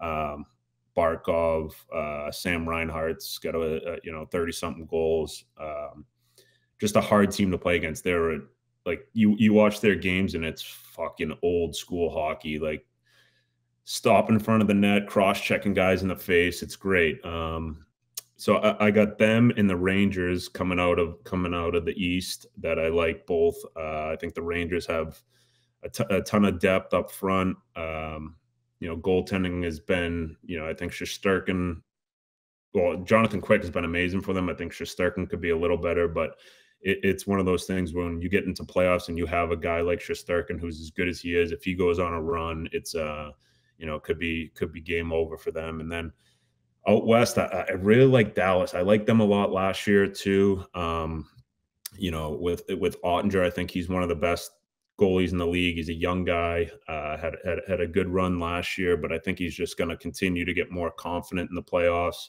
Uh, I think they have a, a great, you know, older guys and younger guys kind of leading that team. Guys with Jamie Benn and then Robertson with the younger guys, Roope Hintz. It's uh, you know, they're they're a fun team to watch. And then you know, I think it, it- it's hard to it's it's hard to bet against Vegas, but I think Colorado, the way that they're buzzing this year, um, you know, if they could get Landeskog back for playoffs, you know, that would be a huge a huge uh, ad for them. But it's also too a lot of these teams, um, you know, I, f- I feel more and more the trade deadline.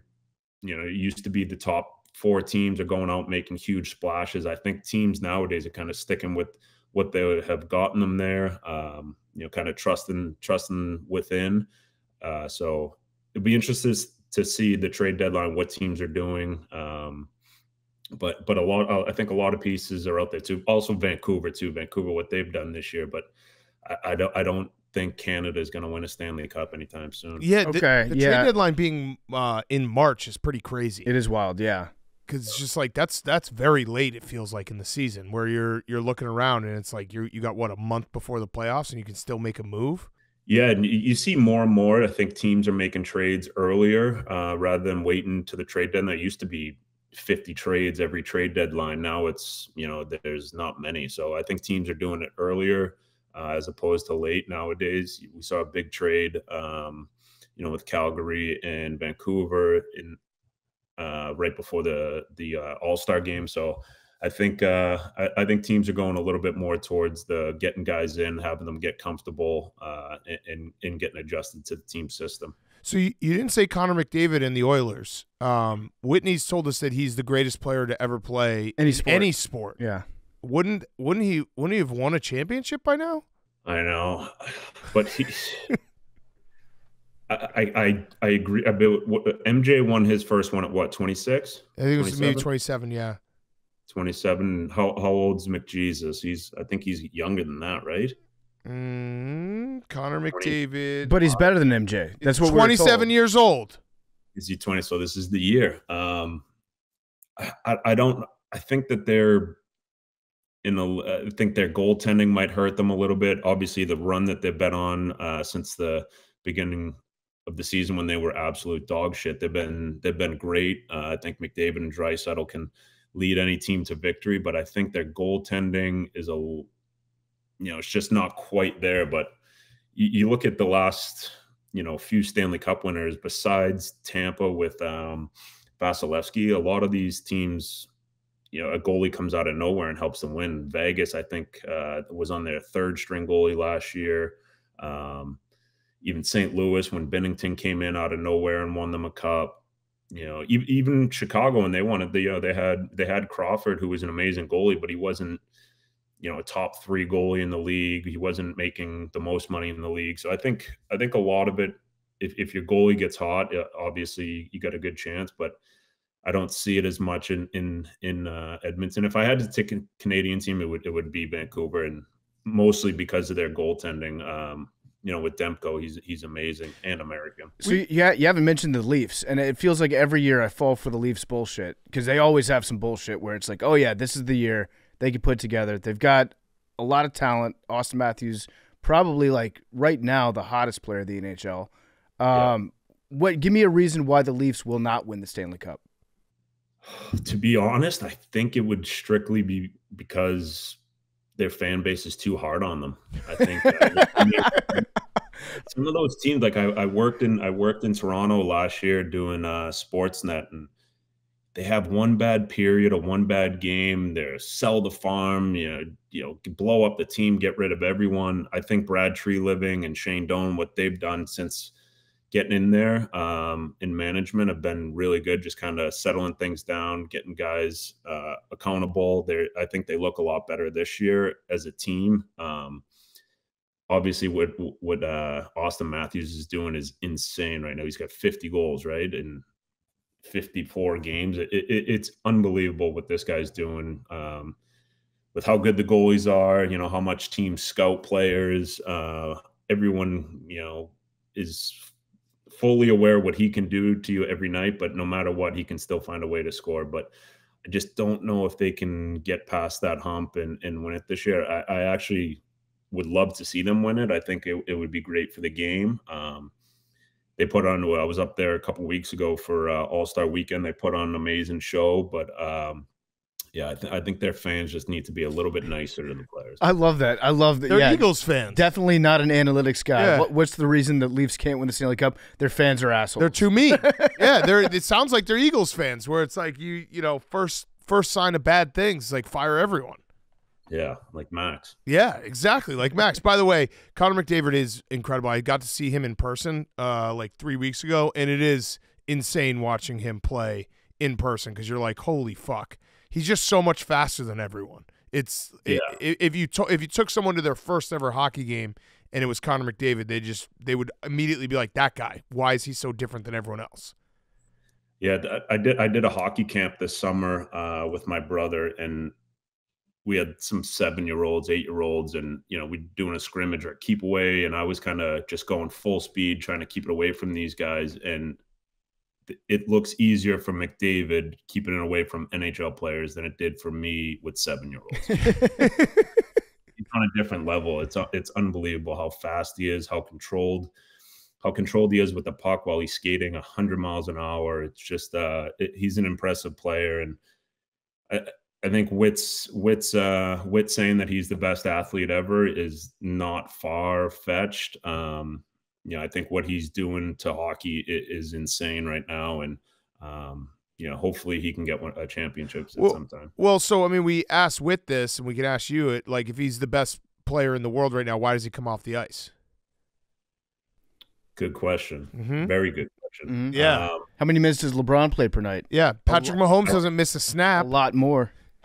I think just strictly because he's a good teammate. He wants to get his, his guys out there. He knows that there's um, you know 21 other guys that that got to make a living. Um, so he's probably just out there being a good teammate, just letting guys get a touch. Um, but uh, if if anyone could play the whole game, would probably be be him. But I was actually I was just away uh, talking with one of my buddies who knows nothing about hockey, and he was like, "How come you guys only stay out there for 30 seconds?" And it's uh it, it's it's a good question, but it's it's a tiring 30 seconds. You you know you're getting leaned on by big heavy guys. You're you're skating as fast as you can. Um, you know, it, it, you, if you stay out there for more than a minute, no matter how good a shape you are, you're dead. Yeah, what what it when you're when you're in the defensive zone, what uh what time is it like this is we're so fucked. When cuz there is nothing better in like playoff hockey especially when a team can get uh you know, they're in the zone for so long and they can't clear the puck and you're just like watching guys die. At what moment like what time in that where you're like I'm so fucked, it's going to be a goal, there's nothing we can do. Yeah, it's called the graveyard shift. You just trying not to die. And Biz says it all the time. He's like, you lose oxygen to your brain. You don't know what you're doing. The puck comes to you, you give it to the other team when you know if you had any any uh if you had some freshness in your legs or in your brain you would you would make a good play but when when those are happening when you're on the ice when you're uh when the team's snapping it around you can't get you can't get out of the zone you can't get a whistle it's one of the worst feelings in the world and I prob my analytics are probably very high for being out there for those shifts. What's the longest you've ever been on the ice? Oof, I don't know. Uh, in the NHL, probably you know two or three minutes. Um, whether it's you know empty nets, empty. I mean, there's probably obviously whistles and stuff like that too. But uh, you know, end of games when you're when you're out there, if there's a power play, you're staying the full two minutes. But yeah, probably two and a half, three minutes. Oh, I, Sounds I'm, like a long ass time. I'm looking right now. Last year, Jack Hughes broke the record. He had a shift of six minutes and two seconds. Damn, That's insane. That's Wow. insane. that's unreal. Good for him. Yeah. Keith Yandle was brought to you by Proper Number 12 Irish Whiskey. That's right. Pro- Proper 12 is rich and smooth. It's Irish whiskey. They've also got the Proper Number 12 Irish Apple Whiskey, which is the best sipping whiskey that you can have. Just pass a bottle around, pour it on ice, pour it in a glass. You can even mix it. It's great, great stuff. I love drinking it. They sent us a bunch when they came on as a sponsor. Put it on my bar cart. That stuff went fast. It's crisp and fresh, especially the Irish apple. It was founded by Conor McGregor. You can shoot your shot of proper number 12 Irish whiskey and pour the roar. Order your bottle of proper number 12 Irish whiskey with Drizly. Check it out. And now here's Keith Yandle. Hey, I, I got a question for you. How come whenever the, the puck goes out of play, everybody on the ice just puts their hands up in the air and like yells at the ref like the ref didn't see it? For a penalty.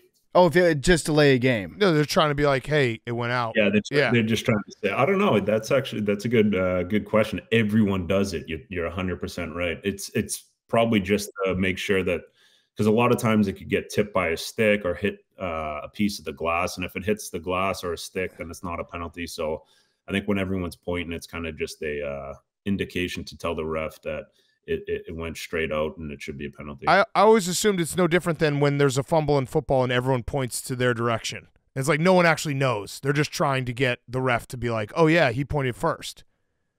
yeah, hundred. Yeah, when they're in the scrum, you mean? Yeah, Like, yeah, right. If you point first over the glass, like the refs will be like, oh, maybe it did go out. Yeah. But when a guy shoots it over the net, you can you can if you see their face, they know exactly what they did. That's that's one of the worst feelings in the world is is shooting shooting one over the over the glass and getting a penalty. Yeah. Yeah. Uh, you also didn't mention the Boston Bruins. Curious why why they're not on the list. I actually uh, in the beginning of the year, I didn't even see them being as good as they are. I thought they were going to be uh, you know, a wild card team. Um, you know, very impressed with what they've done this year. I thought I thought losing Bergeron was really going to hurt them, but um, you know what Pasta does every year is amazing. Marchand stepping in as a captain this year. Uh, I also thought they did a good job of bringing in um, some older veteran guys, which not a lot of teams are doing. You know, they brought in, you know, JBR, uh, Kevin Shattenkirk, you know, guys that have been around, guys that know what it takes. Um, so I, I think they did a good job with bringing in older guys to help out their younger guys. Cause, you know, you look in the beginning of the year, I think the kid's name's Poitras or something like that. He started off hot, had a, had a, had a good first 10 games, but, you know, when you're young, anyone can have good 10 games. You need those veteran guys around to to help you out. Um, you know, during the dog days of the year, like they like they are now, and um, I think the Bruins did a good job of that. I just I, I think the East is going to be tough to get to get out of. Um, you saw a little bit last year with the way that they do their two goalie system doesn't quite work in playoffs. You got to have that one guy. Um, so I mean, we'll see. I don't think anyone will want to play them in the playoffs, but I, I don't see them going on a deep run. And um, probably good that I live in Florida now, not Boston, because I'd be getting my head punched in. yeah, um, all right, one guy I wanted to bring up because we just saw his jersey get retired in Pittsburgh, Yarm- Jaromir Jagr. It was awesome. They all wear mullets. They came out. Uh, he seems like an absolute legend of a guy. You got to play with him.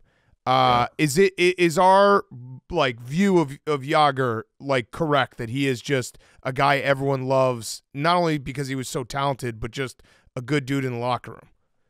He he was amazing. He was uh the way I describe it, he was like a little kid. He was just a little kid, but when I played with him, I think he was 67 years old. So he but he um like he, he would sit on I'll never forget he'd be like, Hey Yenzi, Yenzi, wanna go get a muffin? Wanna go get a muffin? He'd, he'd sit on the back of the bus and he'd eat his muffins like a little kid. Uh unbelievable. But good good Jagr story. I think it was uh Foxwoods or Mohegan Sun when he was in either Pittsburgh or New York. They were opening up their casino and they waited for a night that Jagr was playing in Boston and could make the trip up there and kind of, you know, be part of the first the open night. I'm like, oh, that's pretty cool. They wanted you there. He's like, they didn't want me there. They wanted all my money. he probably gave it to him. oh yeah. Yeah. And the, the quote that he had where he was like, uh, "Yeah, I, I want to thank my girlfriend too. She's too young to remember when I played in Pittsburgh, but I think she would have liked it here." Yeah. That rocked. there was a clip I saw that someone was like, "Yeah, Jagr used to have a party every year, and it was hundred people, and there was no more than ten dudes." Yeah. Oh, the guy was beautiful. Yeah. He, the girlfriend that he had when I played with him, same thing. She was probably 22, 23. And, yeah, and this guy, like, he would make her come to the rink with him. He'd go to the rink at midnight and just go skate around, and she'd have to sit in the stands and video him. And like, what is going on here? And I'm like, Yogs, what does she do? He's like, oh, you want to see if she's strong? She's strong too. and he's 250 pounds. We were at our, our Halloween party, and he's like, you want to see how strong she is? I'm like, yeah, sure. He just jumps on his back, and she started doing squats with him on his back. I'm like, what is going on in their house? That's incredible. Love love the game more than anyone.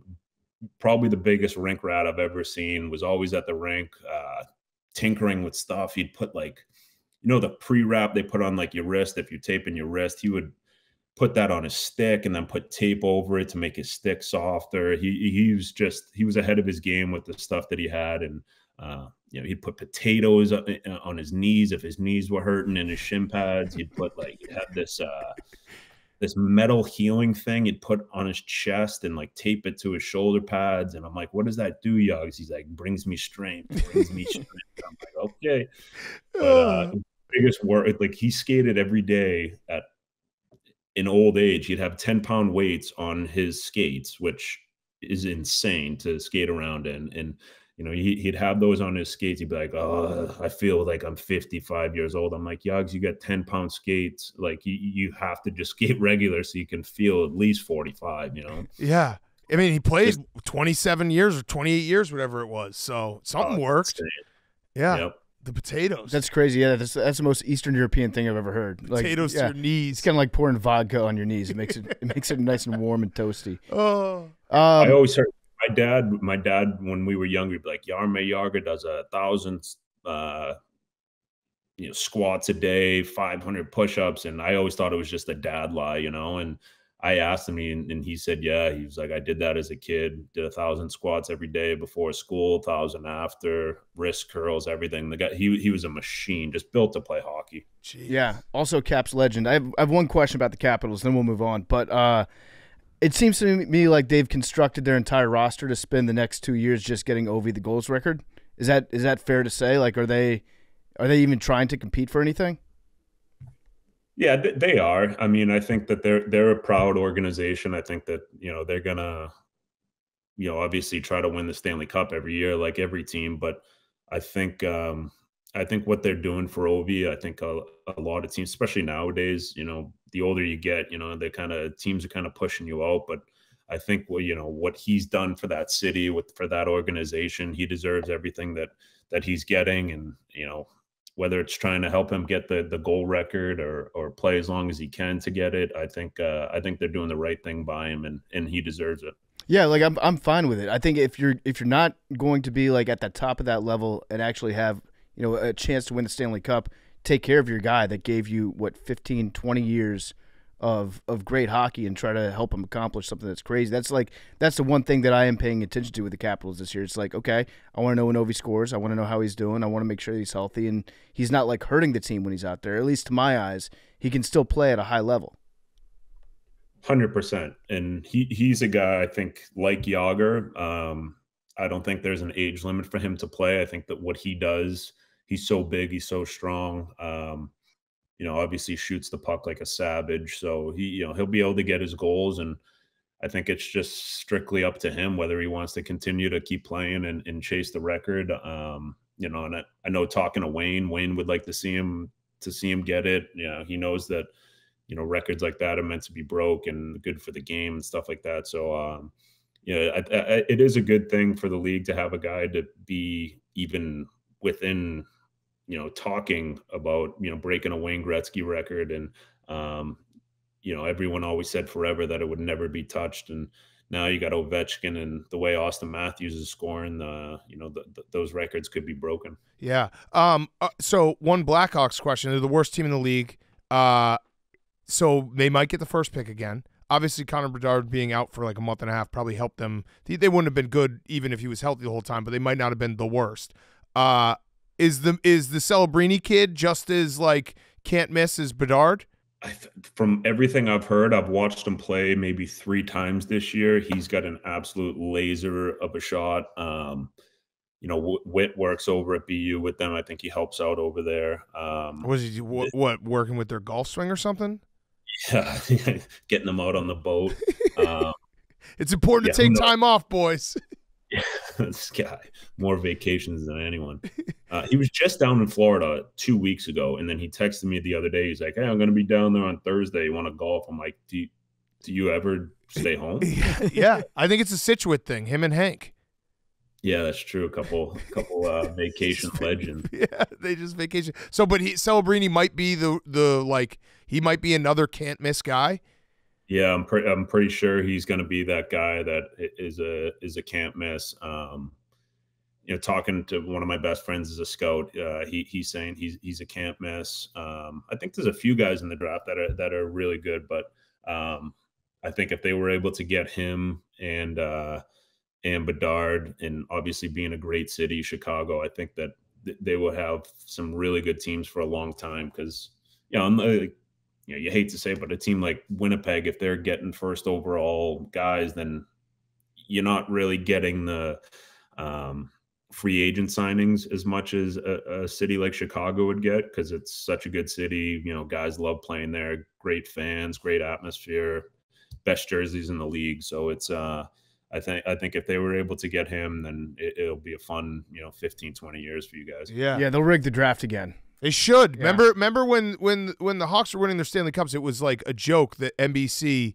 it was like every single week it was a Blackhawks game. It was it was every every like every time there could be a national televised game, it was a Blackhawks game. Yeah, and I remember playing during those, and you're like, "Geez, why do the Blackhawks get every game?" But now being out and being in the media, it's you, got to put on games that are going to grow the game, and and the players that are going to grow the game. Um, you know, I think the league's doing an amazing job of of that. Uh, you know, growing the game, getting guys getting guys out there more than they had in, in the past. Um, but it, it's I think when Chicago's a, a good team, it's good for everyone. Yeah, it's original six. Whenever there's an original six, it feels like there's just more momentum. Yeah, or or just big fights. If there's constant big fights, like I think last time we had Biz on, he told us to watch Wi-Fi. That dude up in Montreal, that Yeah. dude, that dude can throw some punches. I love watching clips of his fights. Who's another Who's another goon or tough guy that we should keep our eye on? I think Brady Tkachuk, who's I think he's leading the league in fights this year, and I, I golfed with him over uh, over All Star break. He was down here in Florida, and I'm like, he's a he's a top 10, 15 player in the league. I'm like, Brady, you got to stop fighting, man. Like, the, I know you're tough. He's a big, strong kid. He can throw his hands. Uh, I'm like, you got to stop fighting, man. Like, you their team's in last place. He's like, I can't, I can't shut it off, and probably the reason why he is who he is. And you know, I'm here talking to you guys. Yeah. Yeah. Uh, when you get to playoff season as a defenseman, how much does it suck knowing that you now have to get in front of every puck? Is there like a something in your head that flips and you're like, all right, now everything, every every single one that I stayed on my feet for, I'm gonna have to get on the ground and take one to the knee, take one to the shin, take one to the ankle. Like, do, do you just dread that? Yeah, that that and and going back for pucks because especially as a as an offensive defenseman, teams would you know they dump it in your corner and they're just trying to get trying to get licks on you and it's it's the worst. It's especially that first game. You're like, okay, you got to prepare for battle. Um, you know, you- you're basically playing hockey without a puck the first couple games. Teams are so fired up to get the the playoffs started. I, th- I think the first round of playoffs is probably the best round. Um, you know, teams are are flying around trying to kill each other, like you said, blocking shots everywhere. But I always said like I, I never asked the goalie to go play the power play for me. Um, you know, he should never ask me to block the puck. That's a Ooh, I fair like point. that. That's a fair point. He's asking you to do his job for him. yeah, I like that. But, But, it's, you, not really the goalies; it's more the coaches. Yeah, there definitely uh, was there times when you wouldn't get down for a puck and that you get reamed out afterwards, being like, "What the fuck are you doing?" Oh yeah, all the time. Like, analytics for that. see, Uh, see, if I were a coach before the playoffs, I would just I would lay down on the ice and be like, "All right, boys, if I can do it, you can do it," and just let the whole team fire on me for like for like ten minutes and be like, "Now go and do it." Lead from the front. He'd be dead. yeah, Yeah, but the guys would be fired up. They'd be fired up. Yeah, that would that would be a, a good tactic. Maybe if you're like down three games to to one or something like that, doing that by a coach would be elect. But a lot of the coaches are are guys that were shot blockers, guys that were out there um, giving it their all, and all the players know that too. So when they're asking you to do it, and you knew that they did it, it's tough to to you know not kind of sack up and do it. Yeah. that's fair. And they probably did it in an era with when you know they had less pads on. Yeah, I don't know. The the pads have always been uh, like uh, like every time you get hit with a puck, you feel it, and unless you get hit in the foot when you have the shot blockers on, it kind of just gra- grazes off your foot, then you don't really feel it too much. But anytime you get hit with a puck in the foot, or it, it, it always finds the area with no equipment, and um, or I shouldn't say always. I'd say seventy percent of the time you're you're getting full impact of the puck just on your bare skin, which is the absolute worst. Yeah. That sounds awful. Uh, I was reading something the other day about how coaches they don't use their uh, their challenge where they can like say, "Hey, that guy's got a, a fucked up stick. He's got too much curve on his stick." Coaches don't do that ever, even though it's basically a free penalty every single night if they wanted to do it. And are they not doing that because everybody everybody cheats and they know that they have guys on their team that do it too? Is th- is that even a rule anymore? The uh, illegal curve? I think so. Yeah. Really? Um, yeah, I would say. I mean, the the way guys' curves are nowadays, I'd say over fifty percent of the league. If there is a, a legal curve, um, everyone's. I I would imagine if it if it's the same of what it used to be, there used to be like the silver thing that you put up against it, um, that measured it. If, but I can't imagine that they that it's still a rule or why people aren't using it. But it, it's probably the same thing, like you said, because you know you have access to other teams' room. Your trainers are going in there. You could go in and, and measure a guy's stick before a game and and kind of uh, you know know exactly what you're going into. But yeah, that that's uh I wonder what the, I wonder when the last time that that was called. I, I know the famous one with the Marty McSorley, and Yeah. I think he was in LA at the time. Um, but yeah, I, I wonder what the last one was. Yeah, because the thing I was reading was saying that coaches don't do it because it's like a an unwritten rule of the Gentleman's game. game. Yeah, where maybe you're Yeah. pointing the finger at them, you got some going on at your own end. But yeah, nobody does it anymore, and it seems like it's a free penalty if you want it. yeah, maybe now if people hear this, then people will do it in playoffs. That's, but that is one of the good things about the NHL. And I saw it the other night. Did you guys see the guy in Ottawa scored the empty net goal and then Yes. Just rushed him? That's my favorite part about the NHL, how it just polices itself. Like imagine in football if you do something stupid and a 400 pound lineman, you know he's going to come and just rip your head off. Like you're probably not going to do it. Yeah. So the way the way that the game polices itself is amazing. Um, you know, Yeah. And probably with the coaches not doing that is probably just out of uh, out of respect. Yeah, for people who missed it, it was an empty net goal was like four two, and then uh, there was like five seconds left, and was it an Ottawa player who just took a slap shot from like five feet away on an empty net goal and scored with like no time left, and he just got absolutely bum rushed immediately. It was awesome. And the worst part is you have your goalie pulled, so you got one more player than the other team out there. So no matter what, this guy's getting hands put on him by someone, even if you, your whole team comes in, which Ottawa did. But uh, you know, there, there's two guys on that guy who who shot it into the net and caused that havoc. Yeah, that was great. All right, so Jens, it's been awesome. I have one last question. It's a Rhoback question. RHOBACK.com. Use promo code TAKE, 20% off your first purchase. Q-zips, polos, hoodies, joggers, shorts. Rhoback.com, the best golf stuff out there. Uh, go get it right now. Rhoback.com, promo code TAKE. All right, so Yans, you are um, in the Dozen Trivia League. You are on one of the worst teams ever. Very entertaining, but very bad at trivia. So I wanted to test your trivia and give you a question and see uh, how you're doing, how, how the mind's coming along. Okay, you ready? Right. It's an easy one. Celebrity mashup. Yeah, no, it's an easy one. All right, Keith Yandle, you scored how many goals and had how many assists in your NHL career?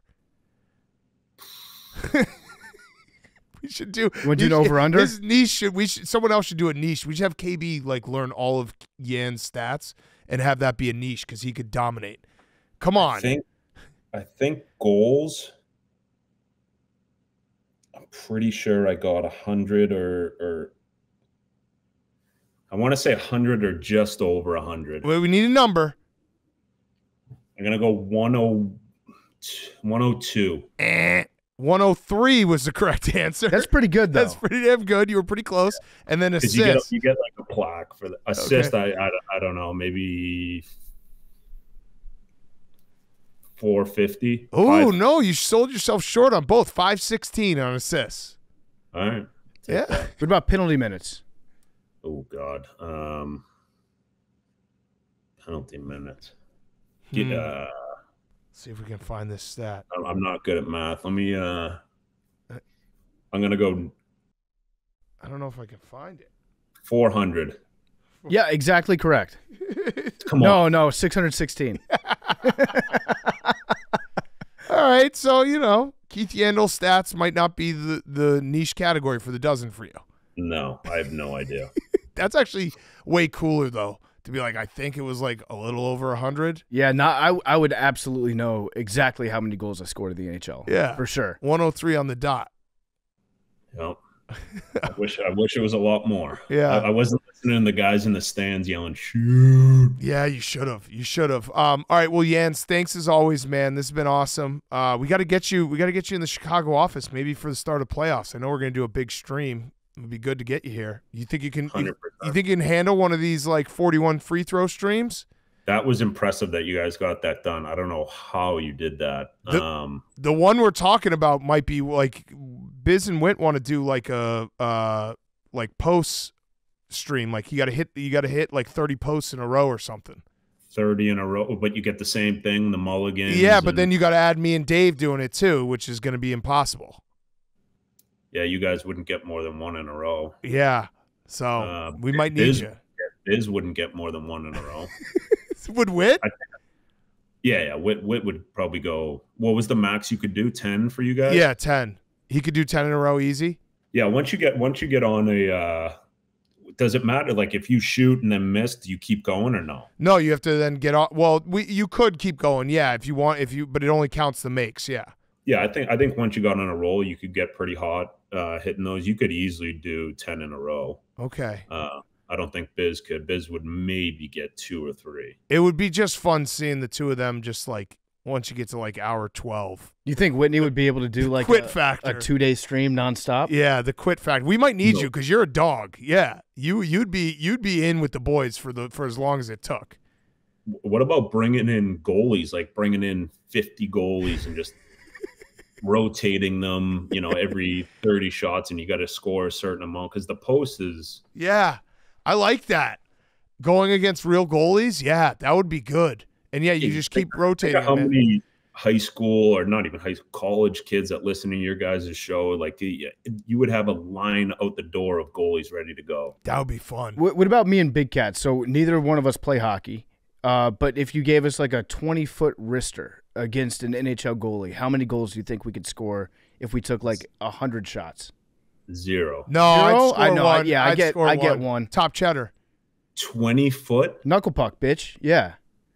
fifteen foot. I don't no fifth no maybe if you had like a breakaway one could flip over a puck but you would kn- you know I, I wouldn't if i had 100 shots on a goalie just straight away no screen from 20 feet away i, I don't think i'd score more than three that sounds like we got a new challenge. Yeah. Okay. All right. I think I could do it. Challenge. Yeah. I'm different though. I'm ready. Uh, all right. Well, Jans, thanks, thanks so much, man. Appreciate you coming on. Um, I love that you don't have a computer. N- never change. Never change that. okay i won't i promise you i will never ever get a computer Thank you. All right. Talk to you later, man. See you, man. all right thanks Keith Yandle was brought to you by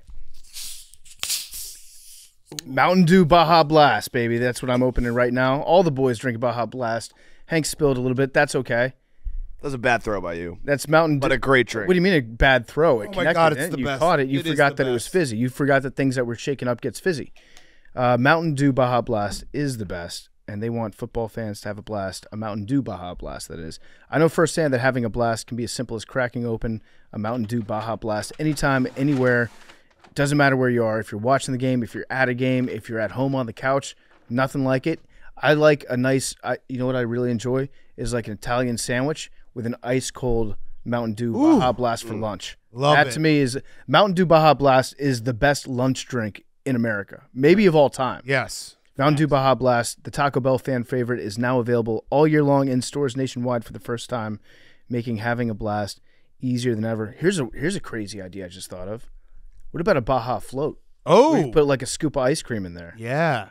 I would I would eat that. I like it. It's the best soda. Baja, Mountain Dew Baja Blast in stores now. Check it out. Hey, Max. Mountain Dew Baja Blast. You want one? I'll take two. Well, you didn't get it, dude. I said you want one, Well, I was gonna take two. but I had two in my hand Yeah, well, because that's one to you. yeah. This No, actually is. Uh, this is maybe the one soda that, like, if you drink two, you are. That just means you're the smartest man alive. Yeah. That's a fact. All right, we'll finish up the show. Life after football. So, Jake, you have a list. Yeah, so last year around this time we did a segment, hobbies the boys will pick up now that football is over. Love it. And I will gonna say Hank was not on this list because I think he stayed in Arizona for vacation. Yeah, you're on vacation. show. I remember Smart. that show. yeah. We had a talk with Yandle about uh because we were said on the show. Biz canceled because he was sick, and then I hit up Whitney, and he was on a boat or golf, and he was like, "Yeah, Whitney, all he does is vacation." Is that just is Scituate thing? it's a beach town. It's it's the Irish Riviera. It's beautiful, beautiful ocean vibes. So Hank, do you have anything that you would have put on this list? What was the what was the prompt? Hobbies the boys will pick up now that football is over, but 365 days ago. Yeah, what would you have done last year? I mean, golf. Okay. Yep. All right. All right. Well, I'm pleased to say that a lot Get of these were six-pack. accomplished. Okay. They were PFT. accomplished. Yes. Okay, let's see. PFT, your first bullet, break 120 in golf. Nice. Boom, easy. You did three quarters of that Done. this Okay. week. Well, I I got 90. It's not breaking 90. True, but pretty much three quarters. Everyone everyone's goal when they start playing golf is to break 91. And I did yeah. that. Uh, PFT, get a word of the day calendar. Unfortunately, I did not do that. Okay. And lastly, PFT, run a marathon and not tell anyone. Well, yeah, so um No, you did that. if, if I if I did run a marathon, I'm going to continue not to tell anybody. Yeah. That's that's going on this year's list. All right. Uh, Okay. Big Cat, yeah. be a dad more. Yeah. You did that. Yeah, hell yeah. You got 365 more days of dadding in. Yeah, I mean, I added another son, so how could I not be a dad? More? All right. Microdose More- mushrooms. Yep, have done that multiple times. Olympic weightlifting. Yeah, Max and I are gonna do that. We got to get back on our plan, Man. I was just talking to Max know, today, that's- actually. Yeah, yeah, yeah. Me and Max are going to work out tomorrow. yeah, we got to get back. Oh, you already ditched me. I didn't. I, yeah, he said, "Are you going to work out tomorrow?" I said, "Yes." Okay, you ditched me. That's fine. Uh, we have three bullets for Billy football. Oh, this should be good. If we hit it hard starting now, we can actually be in a good spot for summer. We can, yeah. Good point, I Hank. had that thought. I'm going to hit it hard. The last I'm a- couple weeks I'm were in a- tough. I'm in a bad spot now. I'm going to hit it so hard. Uh, hard. Billy. I might have sold a video where I have to learn how to dunk too, so that's actually something I have to do, That's cool. But not in in reality. In theory, Wait, you're going to be able to dunk? they're like, "Oh, we're, you know, what are some ideas?" I was like, "Oh, I could learn. I could learn how to dunk." What? No, you And can't. then- and then- It's not like learning how to ride a bike. yeah. Yeah, it's practicing vertical leap. I Training. don't know if you physically. Have you ever got rim Yes, on the court? when I was like 17. But the ball makes it so much harder. How tall you are, are you? more likely to get six pack, which is never going to happen, than dunk. why not both? Okay, why not both? I've They- been, I've been waiting what three years on the six pack. Yeah. I guess we found out Hank's hobby for football off season. Hank, Learn uh, how to dunk. Yeah, I've got the dunk shoes, the uh, the isometric ones. I would love for you to dunk men's ball. Okay, I have to try. I'll bet you ten thousand dollars you can't do it by the end of the year. yeah, I'll match. What do I? Men's ball ten. you have to give us here. ten grand back, not twenty. So twenty to ten. So We'll five give and you five. twenty. You give us ten.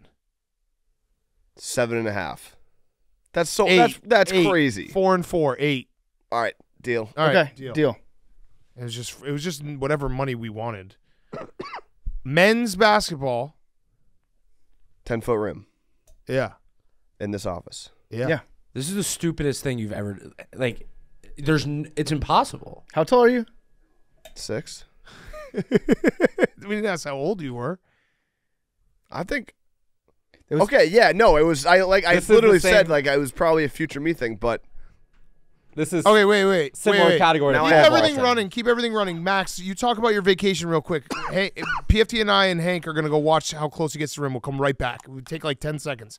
Talk about your vacation. The three of you. The booth talk. All right. Uh, Max, how was your vacation? Uh, my vacation was great. Hank, I've actually been wanting to say this take. Hank goes to San Diego a lot. He has family out there, and he gets a lot of shit about wanting to move to San Diego. The place is unbelievable. Yeah. it's the most. It's like a playground. it's the most beautiful place on earth. Like I don't I like hung out with a lot of people that were there and I couldn't understand how like people can like have a normal day there. Oh, and they're back. It's just sunny every day. Okay, we're back. What was the He's result? never gonna dunk. so I was. He actually PFT. We screwed up because like what we should we should have done it. The only the only regret I have with this bet is we should have made uh, all parties put the money in like an interest account because like eight thousand is not going to be the same amount of money next year. That's true. You know, in seven months. I, Thanks, Biden. I think this is the same category as Hank's pole vaulting take. yeah, I mean it's just not going to happen. So, So, Hank, I I said the exact same thing when I was 30. I was like, I'm gonna I'm gonna figure out how to dunk. I have. uh, I said Yeah, literally the exact I- same thing, you're you're welcome to go ahead, Hank. and it's Go it's ahead. very hard I at have a this age. seven inch advantage. seven you had to know that was coming. You can't say Hank is Hank is more likely to dunk than you. at at my peak when I was like 18 years old, I was able to grab the rim with my fingertips. that wasn't a bad baseline. I'm on zero training. Yeah, I know, but you're not going to dunk. What if I just go hard? Okay. Well, if, if you go hard, you get twenty thousand dollars. So you're gonna you're gonna have to one lose weight It will and come out of then the and of my then cheese two thing. get stronger. Yeah. No, I know. I know. I listen. It will come out of the part of my cheese. Believe. Uh, all I need is some people to believe. I know there's going to be a lot of haters, a lot of doubters, and that's fine. You have no reason to believe, but for the ones that do, buy in now, and and maybe I'll split the money with you. Oh, Oh. you're gonna sell stock. Just Yeah. uh, what does that mean? Just people have to show you support, and then you're like, yes. I'll give you money. Yeah. Consistent support. You know what, I'll Hank? I think you can do it. I think you can do it. All right, I, I I would like to match uh, anyone who shows consistent hate towards Hank and really bashes him, you will also maybe get involved in the money that we're gonna win. Here's what we'll do. We'll just every day, just be like, "There's no chance, you fucking idiot." we'll sell a heavily discounted shirt when Hank can't do it that Yeah. just says Hank couldn't do it. Yeah, Hank couldn't do it. December 31st. Wait, no, I thought we said beginning of football season. End of the year. No, no, no, no, no. I'll give him no, end no. of the- You I- said end of okay. this We year. could give him the next ten football seasons. Yeah, why? Yeah, why don't we give you the end of your 30s? Uh, what about steroids? Yeah, you can use steroids. Go for it. I'm gonna do it. all. That's the thing. you can use steroids, but you have to share with us. All right, Okay, Winnie. that's fine. As long as he shares, I'm fine with it. I'm we- due. we I'm get due. the I'm, I'm. I'm get due the to. I'm steroids due to follow up on one of these things and make it happen. Okay. Put it that way. I don't think this is the one. That's some Billy football logic right there. You're due. and if I can do this, six pack will become with it. So that should be a double. I should get a, a incentive Okay, what if I'll give you an extra incentive. if I you dunk can't- shirtless if with you my can't six pack dunk, bulging. If you can't dunk, I'll give you uh, three chances to go perfect from uh, three point contest. And if you get that, then you get the money. Okay. That was smart by me because now he's gonna like halfway through not training, he's gonna be like, maybe He'll I'll just just train really my good. three pointers and he'll stop training Yeah. to dunk. that works. So three t- three times through, you'd have to make 25 three pointers in a row. Yeah, that'll never happen. All right, we'll say we'll say 20. That is Four- so four much more record. likely to happen than you dunking. Yes. Why are you? Uh, that just made me mad that you were like that. That will never happen, but dunking will. because you don't understand his mindset right now, Dude, man. he's got I have abs. chicken like like no like Hank's mind, he's like, all I have to do is just hit the gym, and then when I'll be do you able think to you're do going to train? When does training start? tomorrow. Yeah? Yeah. Okay. Not tomorrow. All right, what what else do we have? Oh, we Billy's have hobbies. Oh yeah. Uh, I've never trained my legs. I have chicken legs, and I basically just touch rim. so you're just an untapped resource. yes, You did not basically just touch rim. pretty much. Uh, no. Like six inches away. yeah. And you would then have to go another like it has to be a clean dunk. No like getting the ball to the rim and like having it just fall in. You have to actually dunk. Your hands have to be all the way over and dunk. Okay, I'm, I'm reviewing the tape right now, Hank. You are about, I'd say your fingertips are a good five and a half inches. I know exactly what that looks like. so that's from like the rim. another foot of vertical leap you need. You need, yeah, about another foot to get up there. Work to be done. Okay. Can't wait to get to work. Billy's hobbies that he'll pick up now that football season is over from last year. Not get too deep into conspiracies. Oh, he failed that one Failed. big time. Listen to macrodosing. Don't get suspended.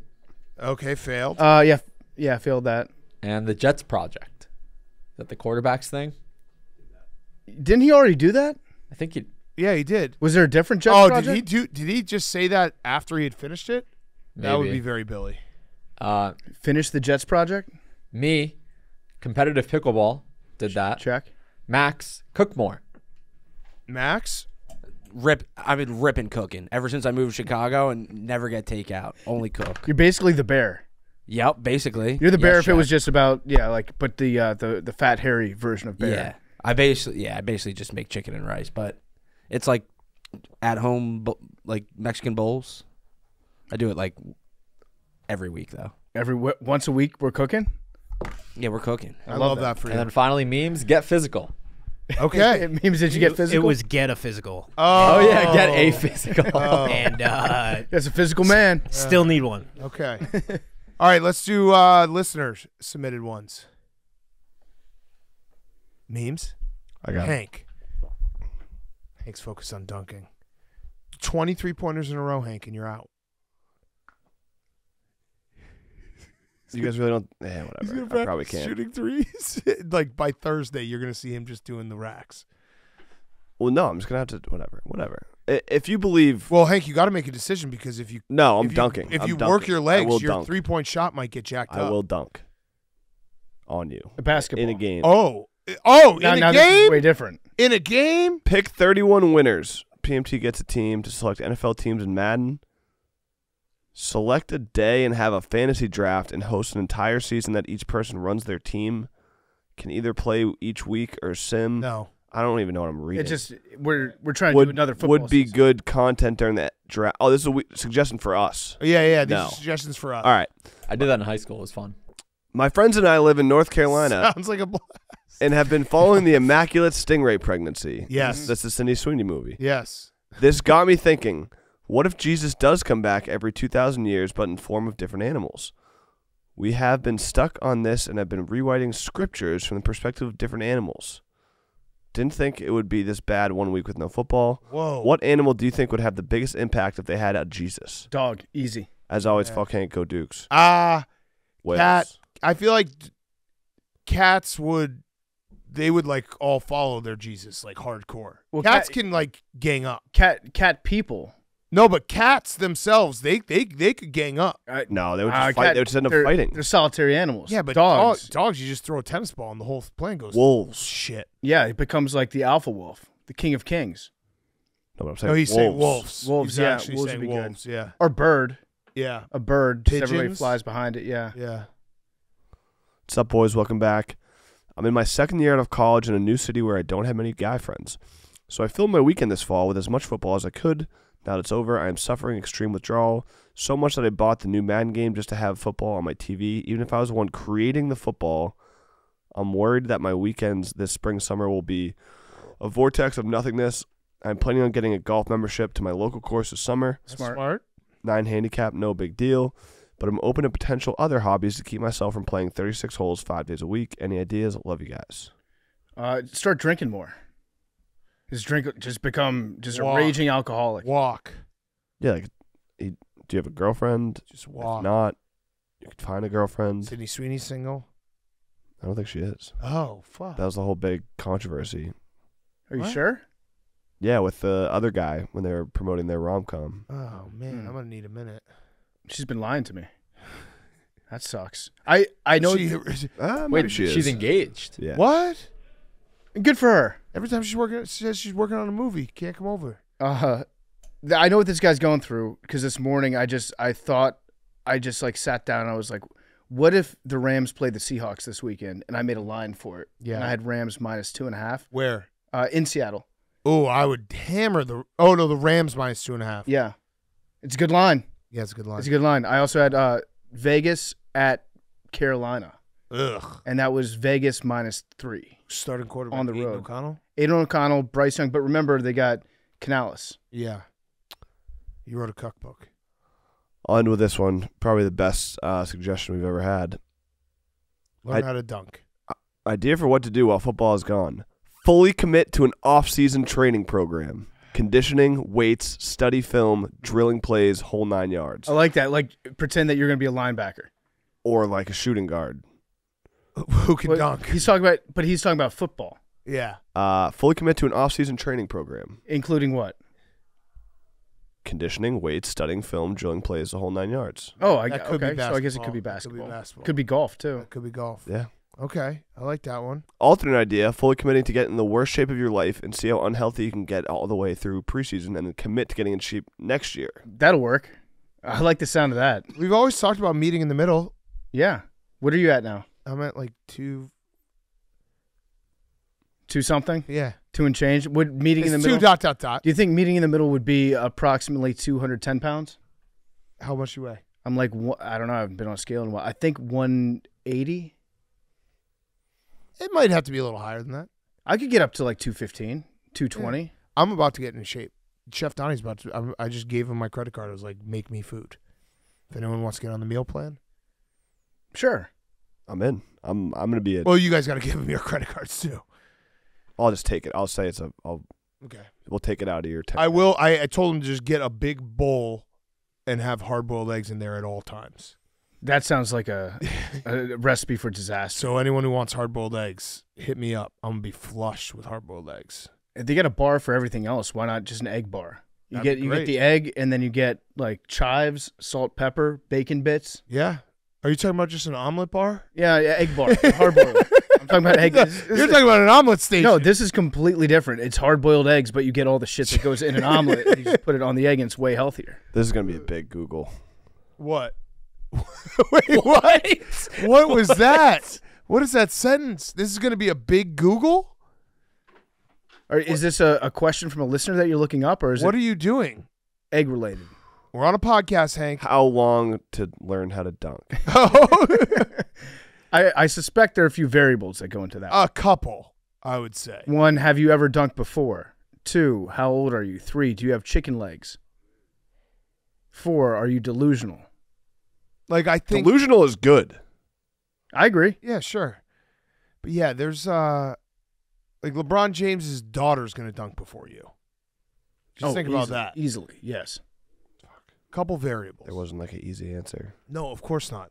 Uh okay. I read it said I would like three months so I can impress some people in school after summer. This guy sounds like my type of guy. In school, like high Top school? comment. No way to tell, and it's going to be different for everyone.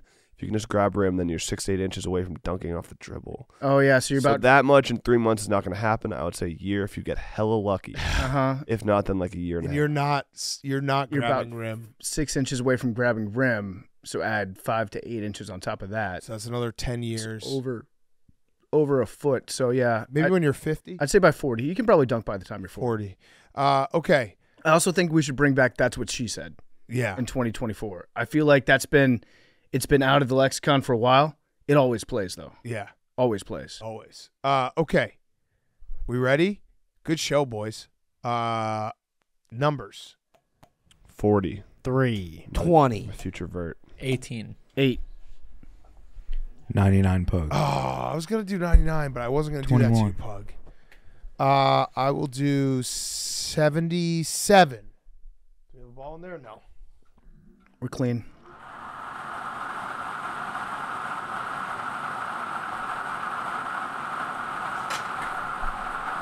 Fifty seven. Seven. 57. Yeah, I saw that, Max. Getting a little nervous. Love you guys.